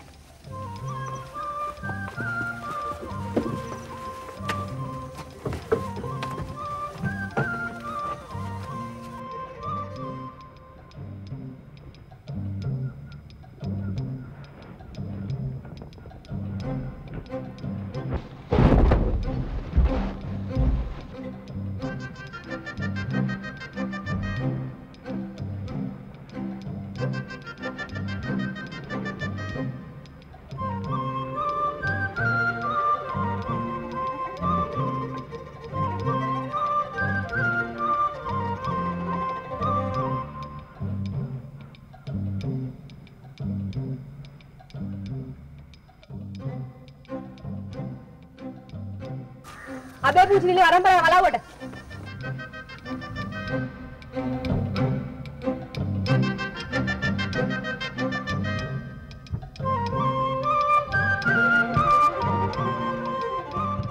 ගොඩක් අය මට මං ඒ ටෙලිනාට්‍ය විකාශනය වෙන දවස්වල ගොඩක් අය මට කතා කරේ සුන්දරීනන්ද අක්කා කියලා. සුන්දරීනන්ද අක්කා කියනවා සමහර වෙලාවට පාරේ යනකොට එහෙම ඇහෙනවා. ඉතින් තාම මේ මිනිසුන්ට සමීප වුණා. සමහර අය ඒකට සමහර මට මතකයි නේ ශිල්පිනින් පව මට කියලා තියෙනවා ඒගොල්ලන්ට හරි ආසයි ඒ වගේ චරිතයක් කරන්න කියලා. ඇත්තටම හරිම අමාරු වුණා. මං ඇත්තටම ටෙලිනාට්‍ය පැත්තෙන් කතා කරොත් මම මගේ ඒක ආරම්භ කරන්නේ ටයිටස් තුට තුටත් මහත්මයාගේ රන් කහවුණු ටෙලිනාට්ටෙන් ඒකත් වෙන්නේ මේ මොකද මම හැමවෙලේම හිතන දැන්නේ සිනමාව තමයි මගේ මාධ්‍ය ටෙලිනාට්‍ය නෙවෙයි කියලා. මං ඒතර තාම කාර්ය බහුල අවධියක්. ඔය අතරතුර මට ආරාධනාවක් ලැබෙනවා.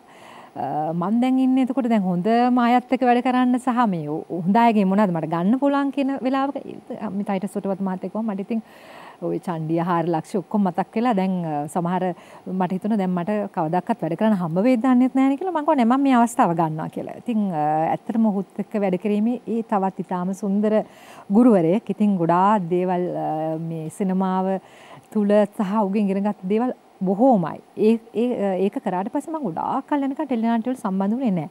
කිසිම දෙයක. මොකද මම එච්චර සිනමාව තුල කාර්යබහුල වුණා. මට ඒකට රඟපාන්න මට වෙලාවක් උන්නේ නැහැ. ඒ කියන්නේ මට ඒ අනිත් එක තමයි මට කැමති විදිහේ දෙයක් මට එහෙම ආවෙත් නැහැ. ඒ අතරතුර තමයි ඒ පිරගංකාරයෝ තිස්සබ්බේසකර කියන්නේ මගේ ගුරුවරයා වගේ මම හැමදාම සලකන්නේ. ඔහු ආරාධනා කරා මට කොහොමවත් බෑ කියන්න බැරි වුණා. අනිත් එක ඒක බලපුවාම මාස ගණනාව වැඩක්. ඉතින් ලේසි පහසු දෙයක් නෙමෙයි. ඒකත් මම කසාද බැඳලා ගමට යන්නේ. මිසිනෝන. ඊට පස්සේ ඇත්තටම වයසට ගිහිලා අවුරුදු 80 ගාණක් වෙනකන් යන දිවෙන චරිතයක්. ඉතින් හිතන්න මුළු මාස ගාණක් ඒකේ රූපගත කිරීම. ඉතින් හරිම අමාරුම කාලයක් තමයි. හැබැයි මට හිතෙනවා මගේ ජීවිත කසිනමා මේ ජීවිත ගමනේ සමහරලාට චිත්‍රපටි වලින්වත් මට ලැබිලා නැහැ ඒ තරම් තෘප්තියක් මගේ ජීවිතේ. ඔබ ඔබ කියන කාරණාව හරි.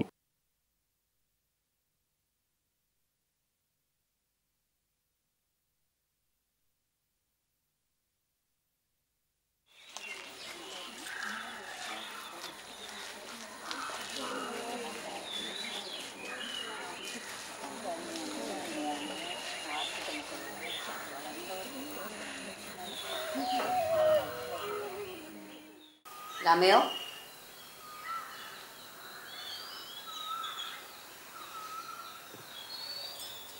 අම්මේ අම්මේ නමට ඇහුන්නේ මොකද මේ කෑම මේසෙට බෙදලා? ඇයි දවල්ට කන්නේ නේද? කණ්ඩාවට කෑම මේසෙට බෙදන්න එපා. කෑම නිවෙනවනේ. සයිමන් සීනෝ කැමති නෑ කෑම නිවිලා කන්න.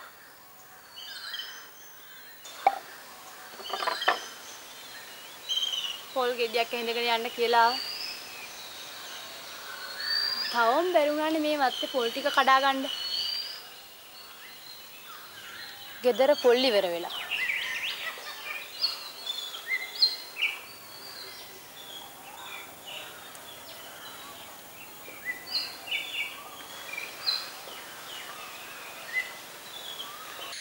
අපේ තාත්තා නම් ඔහොම එළියට ගිහිල්ලා ආපු හැටි තේ එකක් ඉල්ලගෙන බොනවා.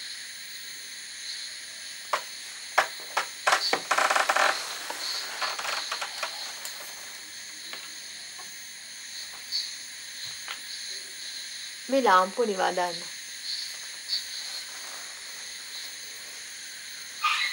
අම්මා කැමති නෑ ඒක එළි වෙනකම් පත්තු කරන් ඉන්නවට.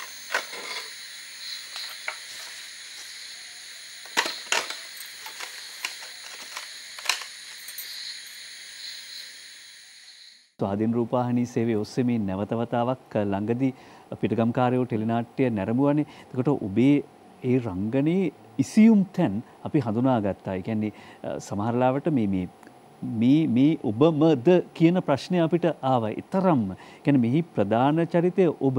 එතකොට සැමියා සැමියා එක පැත්තකින් ගත්තාම ඔහු ඔහු ජීවිතේ වැරදි තීරණ අරගෙන අර අපි කියන්නේ නන්නත්තර වෙනවා. ඊට පස්සේ පුතාගේ ජීවිතය ඇති වෙන හැලහැප්පීම් පුතාලාගේ ජීවිතවල මේ සියල්ල ඔබ දරාගෙන අර නාගරික සුකුමාල තරුණිය ගැමි ගැහැණියක් විදියට මේ සියල්ල දරාගෙන ගැට ගහගෙන ජීවත් වෙන හැටි. දැන් ඔබ ටෙලිනාට්‍ය ගැන කිව්වන් පස්සේ ඔබ තෝරගන්න ටෙලිනාට්‍ය අධ්‍යක්ෂවරුන් ටයිටස් සුරවත්ත මහත්තයා වේවා ආචාර්ය තිස්ස අබේසේකරයන් වේවා ජයන්ත චන්ද්‍රසිරි මහත්මයා වේවා ඊට පස්සේ සුදත් මහදෙවුලුව වේවා ඊට පස්සේ ජැක්සන් ඇන්තනී වේවා මේ සියලු දෙනා වැඩ කරන්න අමාරු. ඒ කියන්නේ හේතුව ඔවුන්ට අන සියලු දේට වඩා මේ නිර්මාණය තමයි මුල් වෙන්නේ. ඔබ ඇයි මේ වැඩ කරන්න අමාරු නිර්මාණකරුවන් හොයාගෙන ගිහලා ඇත්තටම මං කිව්වේ අර මගේ ආසාව තිබුණේ හරිද දැන් මට මගේ මට දැනෙනවා සහ මගේ ඇඟ ඇතුලේ තියෙනවා මට හොඳ නිර්මාණ කරන්න පුළුවන්. හොඳ රංගනයන් කරන්න පුළුවන්. වෙනස් දේවල් කරන්න ඕනේ. අර සින්දු කීක ඉඳලා හරියන්නේ නැහැ කියන එක හැම වෙලෙම තියෙනවා. නමුත් ඇත්තටම ඒ චිත්‍රපට කරන අතරතුර මම කවදාත් එක නැවැත්තුවේ නැහැ. ඒ චිත්‍රපටත් මම හැමදාම කරා. කර කර අතරතුර තමයි මේ මේකට සම්බන්ධ වෙන්නේ. හැමුත් ඒ අතරතුර ඒ අධ්‍යයනය කරමින් හැමදේම කරමින් තමයි. දැන් විශේෂයෙන්ම මේ ඔය කියපු ටෙලිනාට්‍ය හරහා මම විශ්වවිද්‍යාලයකට ගියා වගේනේ. ඉතින් මට ඇත්තටම මේ උපාධියක් ලැබුවා හා සමානයි ඒ වල වැඩ කරාම. විශේෂයෙන්ම දැන් ජැක්සන් එක මට වැඩ කරන්න ඕනකම තිබුණා. මම ඔහුගේ සිංහල භාෂාව හැසිරෙන විදිය සහ ඔහුගේ දැනුවත්කම මට හරි මම බොහොම කැමැත්තක් තිබුණා. ඉතින් ඇත්තටම ඒ මම ඔහුගෙනුත් ගොඩාක් දේවල් ඉගෙනගෙන තියෙනවා. ජයන්ත ගැන මම කියනවා නම් ජයන්ත අකාල සන්ධ්‍යා කරන්න ඉස්සලා මේක කවුරුත් මං මීට කලින් කියලාත් නැහැ. මේ මං හිතනවා මේක අද අයටත් ගොඩක් ප්‍රයෝජන වෙයි. අපිව ඒ දර්ශනය තලය තුළදී ඔහුට අපේ හිත අපි එකඟතාවය තියන්න ඕන නිසා ඔහු හැමදාම දර්ශන පටන් ගන්න ඉස්සෙල්ලා අපි භාවනාවට යොමු කරනවා. ඉතින් ඒක මං පළවෙනි වතාව සහ අවසාන වතාව ඊට පස්සේ කිසිම කෙනෙක් එහෙම කරලා නැහැ. ඒ අපි ඒ යොමු මොකද ඒක ඇත්තටම අපේ කරපු ඒ කතාවත් හා සම්බන්ධයි කාලය. එතකොට අපි කාලය හරහා ගමන් කිරීම සහ කුණ්ඩලිනී ශක්තිය ඒ හැම දෙයකම අපි කතා කරන්නේ මහා බර දේවල්නේ. ඉතිහාසය. එතකොට ඊටාම බර දේවල්. ඒ කාලේ ජයන්තව කතා කරනකොට මේ තාම මේ මම හිතා ලෝකෙවත් ඔය කතා කරලා තිබුණා. අද මේ වෙනකොට ටයිම් ට්‍රැවලින් ගැන කාලය යාත්‍රාව ගැන කතා වෙනවා. නමුත් ජයන්තක ගොඩාක් කල් රිසර්ච් එකක් කරලා අයා ඒ ගැන හොයා බැලීමක් කළා තමයි කරේ. ඉතින් යාට උණුන එයාගේ වැඩි ඉතා හොඳින් ඉතා උපරමින් කරන්න. ඒකට එයා අපි අපි සම්බන්ධ කරගත්ත අපිත් යුතුයකමක් තියෙනවානේ. වගකීමක් තියෙනවා. කරන දේ අපි ඉතාම හොඳට කරන්න. ඉතින් ඔහු අපිව භාවනාවකට යොමු කරලා අපේ අපිව අපේ හිත තැම්පත් කරනවා. අපි මේ වැඩේට යොමු කරනවා. ඒකත් එක්ක මං හිතන්නේ ඔහුට ඇත්තටම පුළුවන් වුණා දහ දහස් ගුණයක් හොඳින් අපි හැමෝම මං විතර නෙමෙයි ඒතර වැඩ කරපු ඔක්කොම අයව ඒ වැඩේට යොමු කරන්න සහ ඒකේ ඉතින්වත් දන්නවා ඇති ඒකේ ගොඩක් තියෙන සටන් ක්‍රම එහෙම දේවල්. ඔබ ඔබ ඉඩ දෙනවා නම් අපිට අපේ නිෂ්පාදකතුමා උදේ තෙන්නකෝන් මහත්මයා මේ වෙලාවේදී අපිට අවස්ථාව දෙයි. අකාල සන්ධ්‍යා ටෙලිනාට්‍යයේ දර්ශන ඔබ කියන මේ දේවල් කොයිතරම් අමාරු අභ්‍යාසයක් වුණාද කියන එක සහ ඒ අමාරු අභ්‍යාසය මේ සාමූහික ප්‍රයත්නය තුළදී සාර්ථකව ජයග්‍රහණය කරපු හැටි අපිට නරඹන්න පුළුවන්.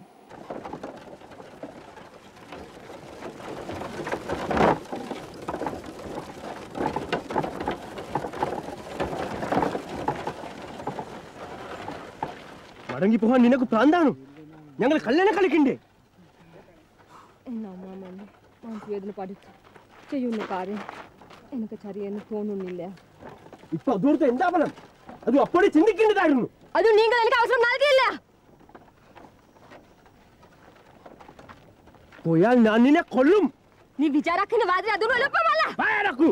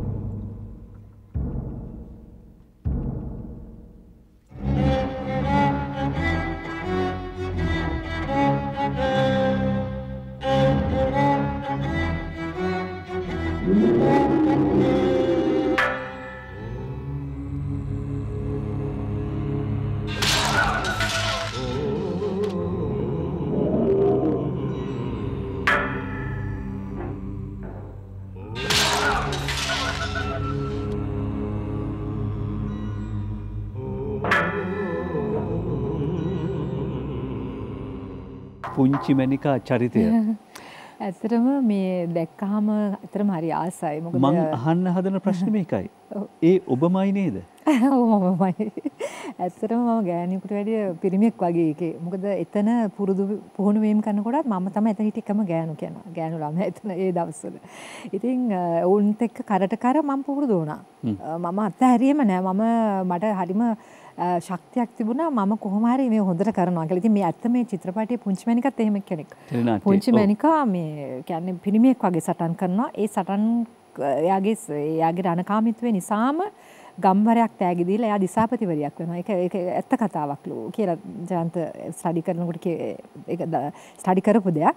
ඉතින් ඇත්තටම මේ මට ඒක මම ආසයි දකින්නකොටත් හරි ආසයි. නිකන් ওই හැමදේම සමහර වෙලාවට නිකන් හීනෙන් ගාපු සුවඳක් වගේ. තාමත් ඒකේ ඒ සුවඳ ඒ දේවල් මෙහෙම මං කරාද කියලා හිතන තරමටම ආසාවක් දැනෙනවා ඒ ඒ ඒ ඒ රූපාවලිය නරඹපු එක හරි වටිනවා. මොකද මම මුලින්ම ගෙනාපු තර්කය සනාථ කරන්න මට හරි උපකාරී වෙනවා ඒ ඒ දර්ශනවලින්.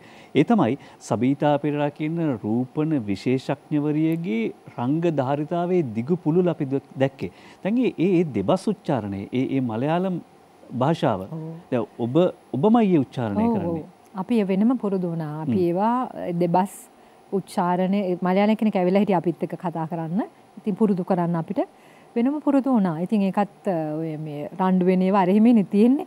ඉතින් ඒ වගේ ඒ වයිදී ඒ කියන්නේ හඬ උස් පහත් වෙනවා. ඒ කියන්නේ අනිත් එක ජයන්ත් එක්ක අතින් ලේසි නෑනේ වැඩ කරන්න ගියාම.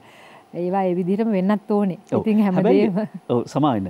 ජයන්ත චන්ද්‍රසිරි මහත්මයා එක කතා කරද්දී ඔහු ඔබට පෙරලා ගෞරව කරනවා. අර කිව්වාගේ අර ස්වර අභ්‍යාස සහ මානසික අභ්‍යාසයේ ඒ දේවල් කරන අවස්ථාවලදී ඔබ හරි නිහතමානී විදිහට නම්‍යශීලී විදිහට ඒවට දායක වෙච්ච ආකාරය පිළිබඳව.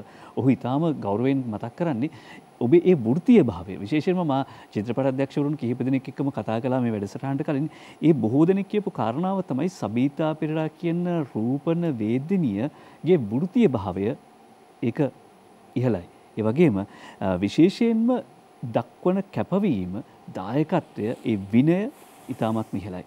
දැන් අ, ඔබ ඔබ ඔබ චිත්‍රපටයකට වෙනතම් නිර්මාණයකට ඔබ ඔබ දායක වෙද්දි ඔබ අමතක් කරනවා කියලා කියන්නේ එක නිදසුනක් ගේන්නම්.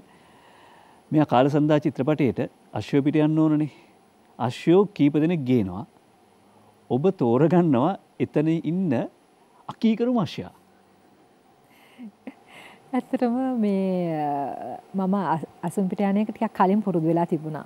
පාකිස්තානු චිත්‍රපටයකට නේපාලයේ රූපගත කිරීම වෙලාවේදී එහි ගොඩක් අශ්ව වෙනවා. ඉතින් ඒ චිත්‍රපටියෙත් මගේ චරිතය හරිම සැරපරුෂ චරිතයක්. මම ගමන් කරන්නේ අසුපිටමයි. ඉතින් ඒ- එතනදී නම් පොඩි අ, පොඩ්ඩක් මේ අ, පොඩි ඇක්සිඩන්ට් එකක් වුණා කියන්නේ අ, මම අස්සය පිටේ ගිහිල්ලා අ, ඒකේ ප්‍රධාන නළුවා ඒ, එක්- එක ගිහින් බහින් බස්සනවා. අස්සය පිටේ ඉන්නකොටම ඔහු තරහ ගිහිල්ලා මගේ අස්සය පුට නගිනවා. නෑ ඇත්තටම මේ රූපගත කිරීම කරනකොට අස්සයා උඩ නැග ගම අස්සය උඩට ගියා. අපි දෙන්න බිමට වැටුණා. ඉතින් අම්, ඒ කාලෙදී ඒ ඒ ඒ- ඒ අධ්‍යක්ෂකවරයාත් මට කිව්වා ඉතාම හොඳින් අසුන් පිට පුරුදු වෙන්න ඕනේ කියලා. ඉතින් අර නේපාලයේදී මං හොඳට පුරුදු වුණා. ඉතින් මට හොඳ ත- තනි රේස් අස්සෙක පිටේ යන්න පුළුවන්කම තිබුණා. ඉතින් ඒ පුරුදු වීම ඒ පුහුණු වීමත් තිබුණා. ඒ අතරතුර තමයි දැන් අකාල සන්දේට ගොඩක් කාලයකට පස්සේ කරේ. ඉතින් ජයන්ත කිව්වා මේකෙත් නිතරම අස්සය අපිට යන්න තියෙන දර්ශන වැඩි. ඉතින් පුරුදු වෙන්න කියලා මම අපි ආපහු ගිහලා පුරුදු වුණා. ඉතින් අ, ඇත්තටම මට ඉතින් හොඳ ලොකු පස්සෙක් හම්බ වුණේ. නමුත් අර පුහුණුවත් එක්ක මං හිතනවා මට ඒක හොඳින් කරන්න පුළුවන් වුණා කියලා. ඔව් දැන් ජයන්ත චන්ද්‍රශ්‍රී මහත්මයා කිව්වේ දැන් අකීකරු මාශ්‍යයා තෝරගත් වුණත් අනේ මන්ද මට හිතාගන්න බෑ සබීත ගියා විතරයි අශ්‍යයා දැන් නම් මතක් කරනොත් බයයි ඇත්තටම එහෙම ඒවා කරාද කියලා හිතනවා. අපි තවත් ගීතයක් විදිනවා මේ කතාබහේ.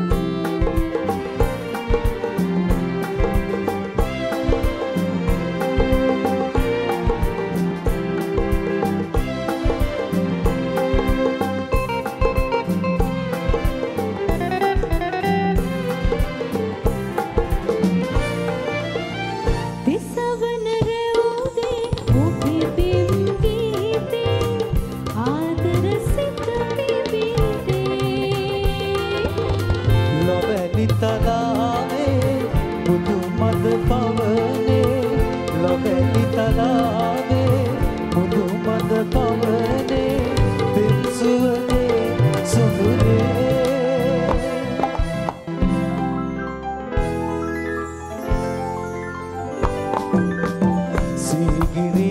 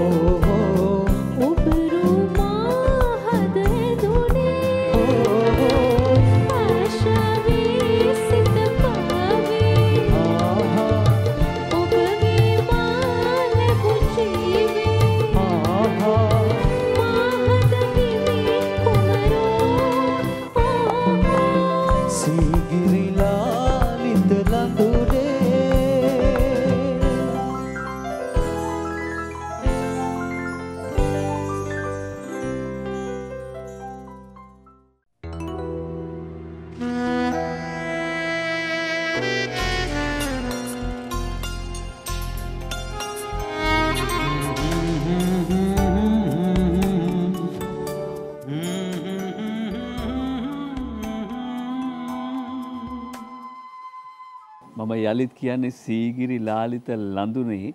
හැබැයි ඔබ වාණිජ සිනමාවේදී එහෙම කිව්වා වුණාට මේ හරවත් නිර්මාණ වෙනුවෙන් කරන කැපවීම. අර කලිනුත් මම මතක් කළා පිල්ලුද පුංචි දෙපා කළු කරගන්න බය වෙන්නේ නැහැ ඔබ එහෙම පැකිලෙන්නේ නැහැ මොකද ජයන්ත චන්ද්‍රසිරි මහත්මයා කියලා තියෙනවා. අර අ, අකාල සන්ධ්‍යා ටෙලිනාට්‍ය රූගත කරද්දී අර ඌරවලේ ඒ කියන්නේ පොල්ලවේ ඉඳලා ඒ කියන්නේ මේ මේ මතු පිට ඉඳලා බඹ දෙක තුනක් පතුලේ ඌරවලේ මහ ගිනි අව්වේ රූගත කිරීම කරනවා ඒකේ විරාමයක් අතරතුර උඩට එන්න කියලා කිව්වත් එන්නේ නැහැ මොකද ඒ ඒ ඒ භාවය තුළ තවදුරටත් රැඳෙන්න ඕන නිසා. සෝ ඔබේ මේ මේ කැපවීම අපි නිරන්තරයෙන් නගය කරනවා. කැපවීම ගැන කිව්වම දැන් අද වැඩසටහනේ අපි අහපු ගීත අතරේ ඇතම් ඒවා ඔබ සමහර විට අහන්නේ පළවෙනි වතාවට වෙන්න පුළුවන්. විශේෂයෙන්ම අර පරමල් අතුරන්න නන්දා කියලා අ, ඇසල කළුවර ටෙලිනාට්‍ය ගීතය ඊට පස්සේ සබීතා චිත්‍රපටයේ ගීතය. මේ ගීත හොයාගන්න එක හරි අමාරුයි. මේවයි තනු තනු හොයාගන්න එක හරි අමාරුයි. විශාරද මනෝජ් පිරිස් මහත්මයට අපි ස්තුතිය පළ කරනවා. මොකද මේ තනු හොයාගෙන දවස් ගානක් තිස්සේ මේ සඳහා මහන්සි වුණා. ඒ වගේම මේ වාද්‍ය වෘන්දයට අපේ සහෘදයන් සියලු දෙනාට මේ තනු එහෙම අහලා පුරුදු කණෙන් එහෙම නැත්නම් අර කියන්නේ හියරින් වලින් ප්ලේ කරන්න පුළුවන් දේවල් නෙවෙයි. ඒ බහර්දූරේ කාර්ය කළාට ඔබ සියලු දෙනාට බොහොම ස්තුතියි අවසාන ආදීට එළඹිලා තිබෙනවා.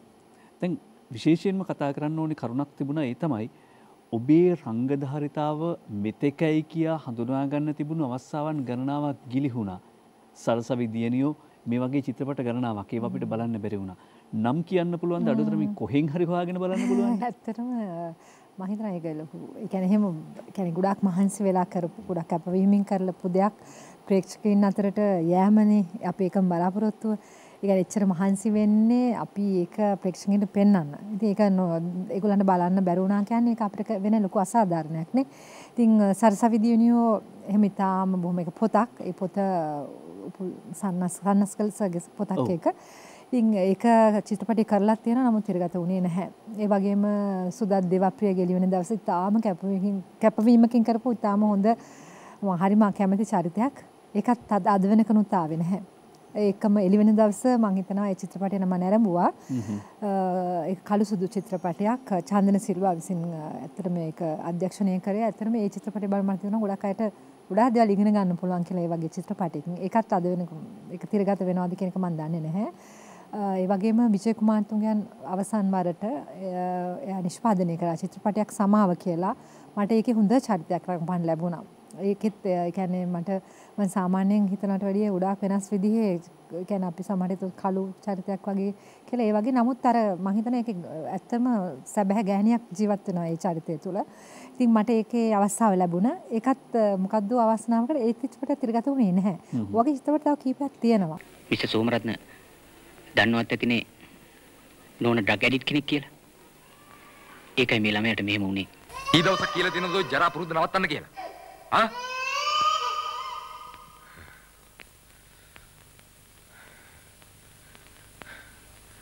උඹේ ඔය කෙහෙල්මල් බැලේ ඩාන්ස් එක නවත්තලා දාපන්. මෙලෝ සිහියක් නැහැ. යාළුවෙක් සිගරට් එකක් බොන්න කියලා බල කෙරුවා. තාත් එකට කෑ ගහනවා. මොනාද කොතෝ කළේ? හොර බැලලි වගේ ඉඳලා කුඩු ගාලා. ඔබ දැක්කද යකෝ ඔබ වදාපික මොකෙද්ද කියලා? තෝමාව කෑම යකෝ. කුඩු වල වන්දිය ගෙවලා තියෙන අර පොඩි එක. කතා කරපේ මහ එකට. තෝනේ කුඩු ගෙනලා දානපති වුනේ.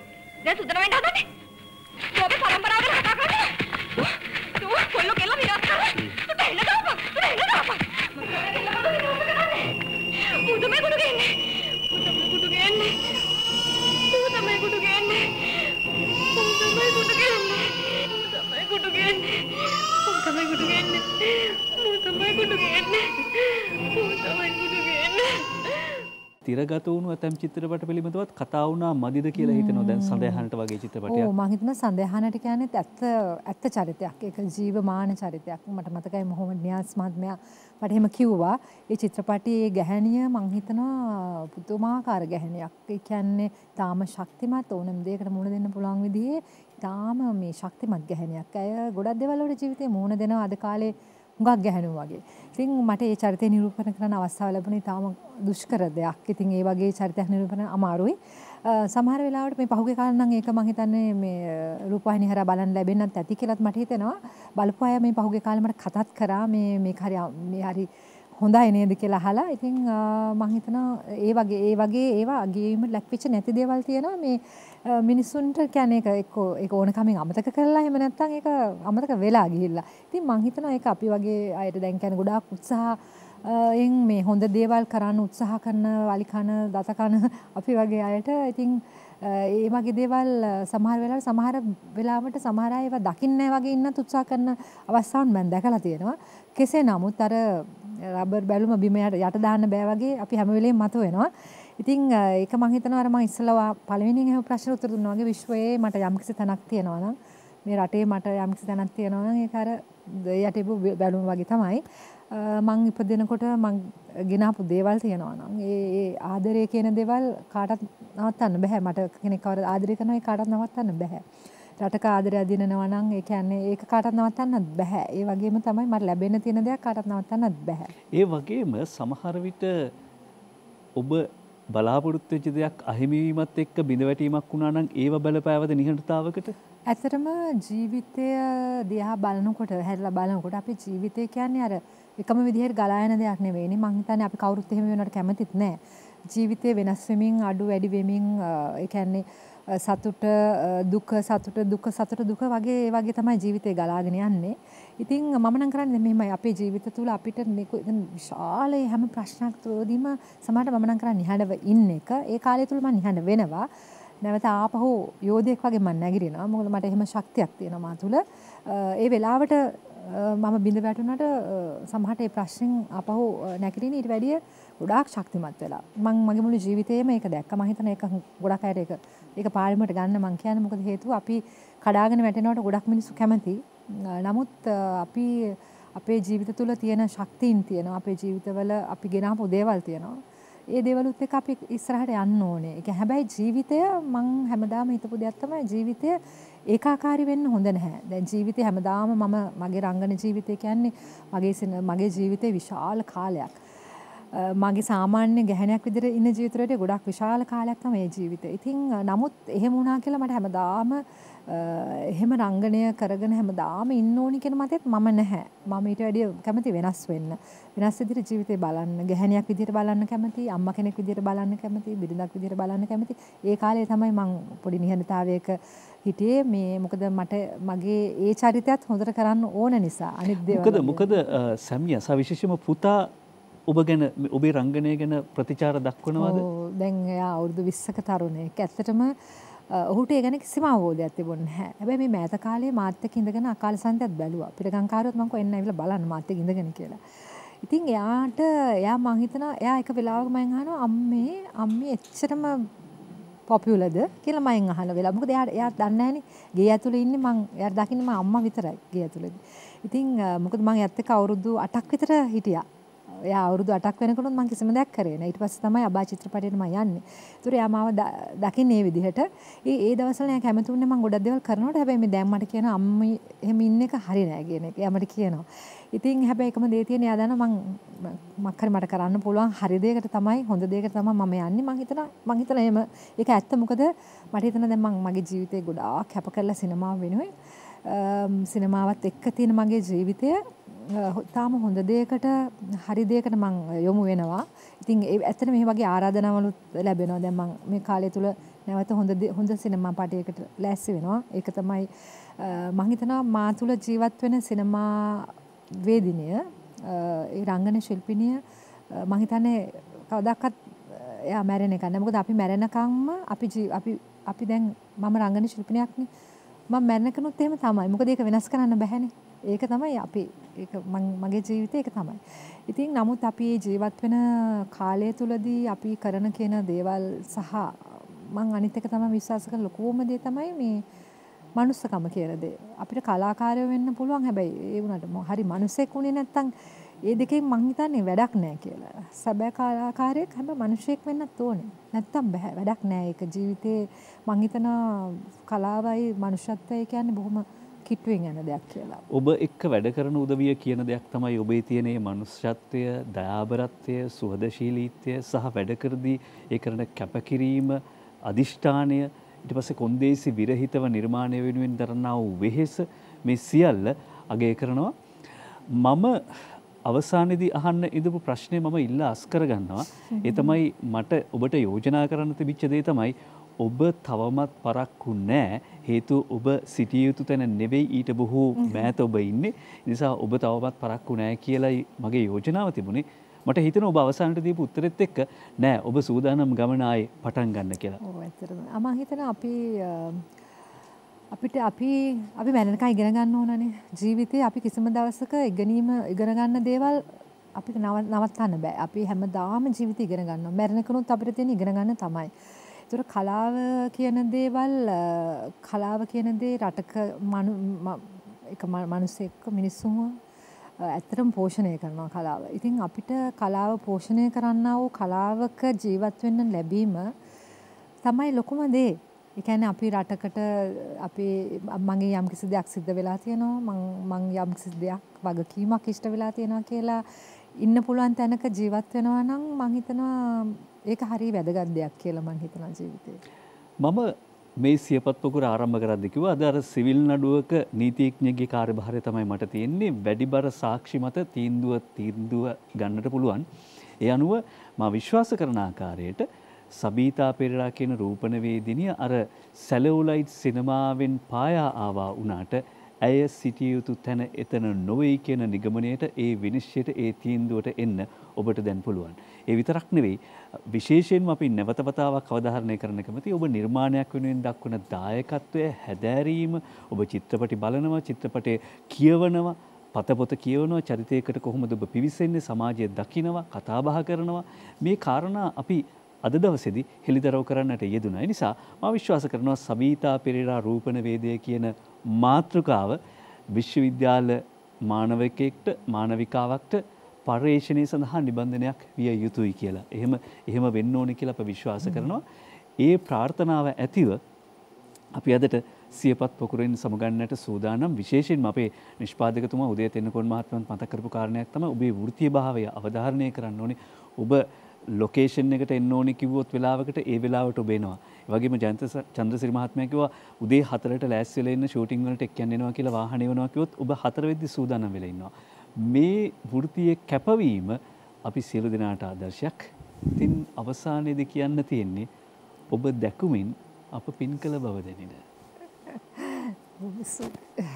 ඔබ අද මේ සියපත් පොකුරේ සියපතවී පිපුණාම අපිට හරි සතුටක් ආස්වාදයක් තියෙනවා. අපිට හරි වාසනාවන්ත අත්දැකීමක් බවට පත් වෙනවා. නෑ ඇත්තටම මේ මං ඉතාම බොහොම ආදරෙන් ආසාවෙන් නරඹන වැඩසටහනක්. මේක ඇත්තටම ඉතින් මං ස්තුතිවන්ත වෙනවා ස්වාධීන රූපවාහිනියටත් උදේටත් මට මේකට ආරාධනා කිරීම ගැන.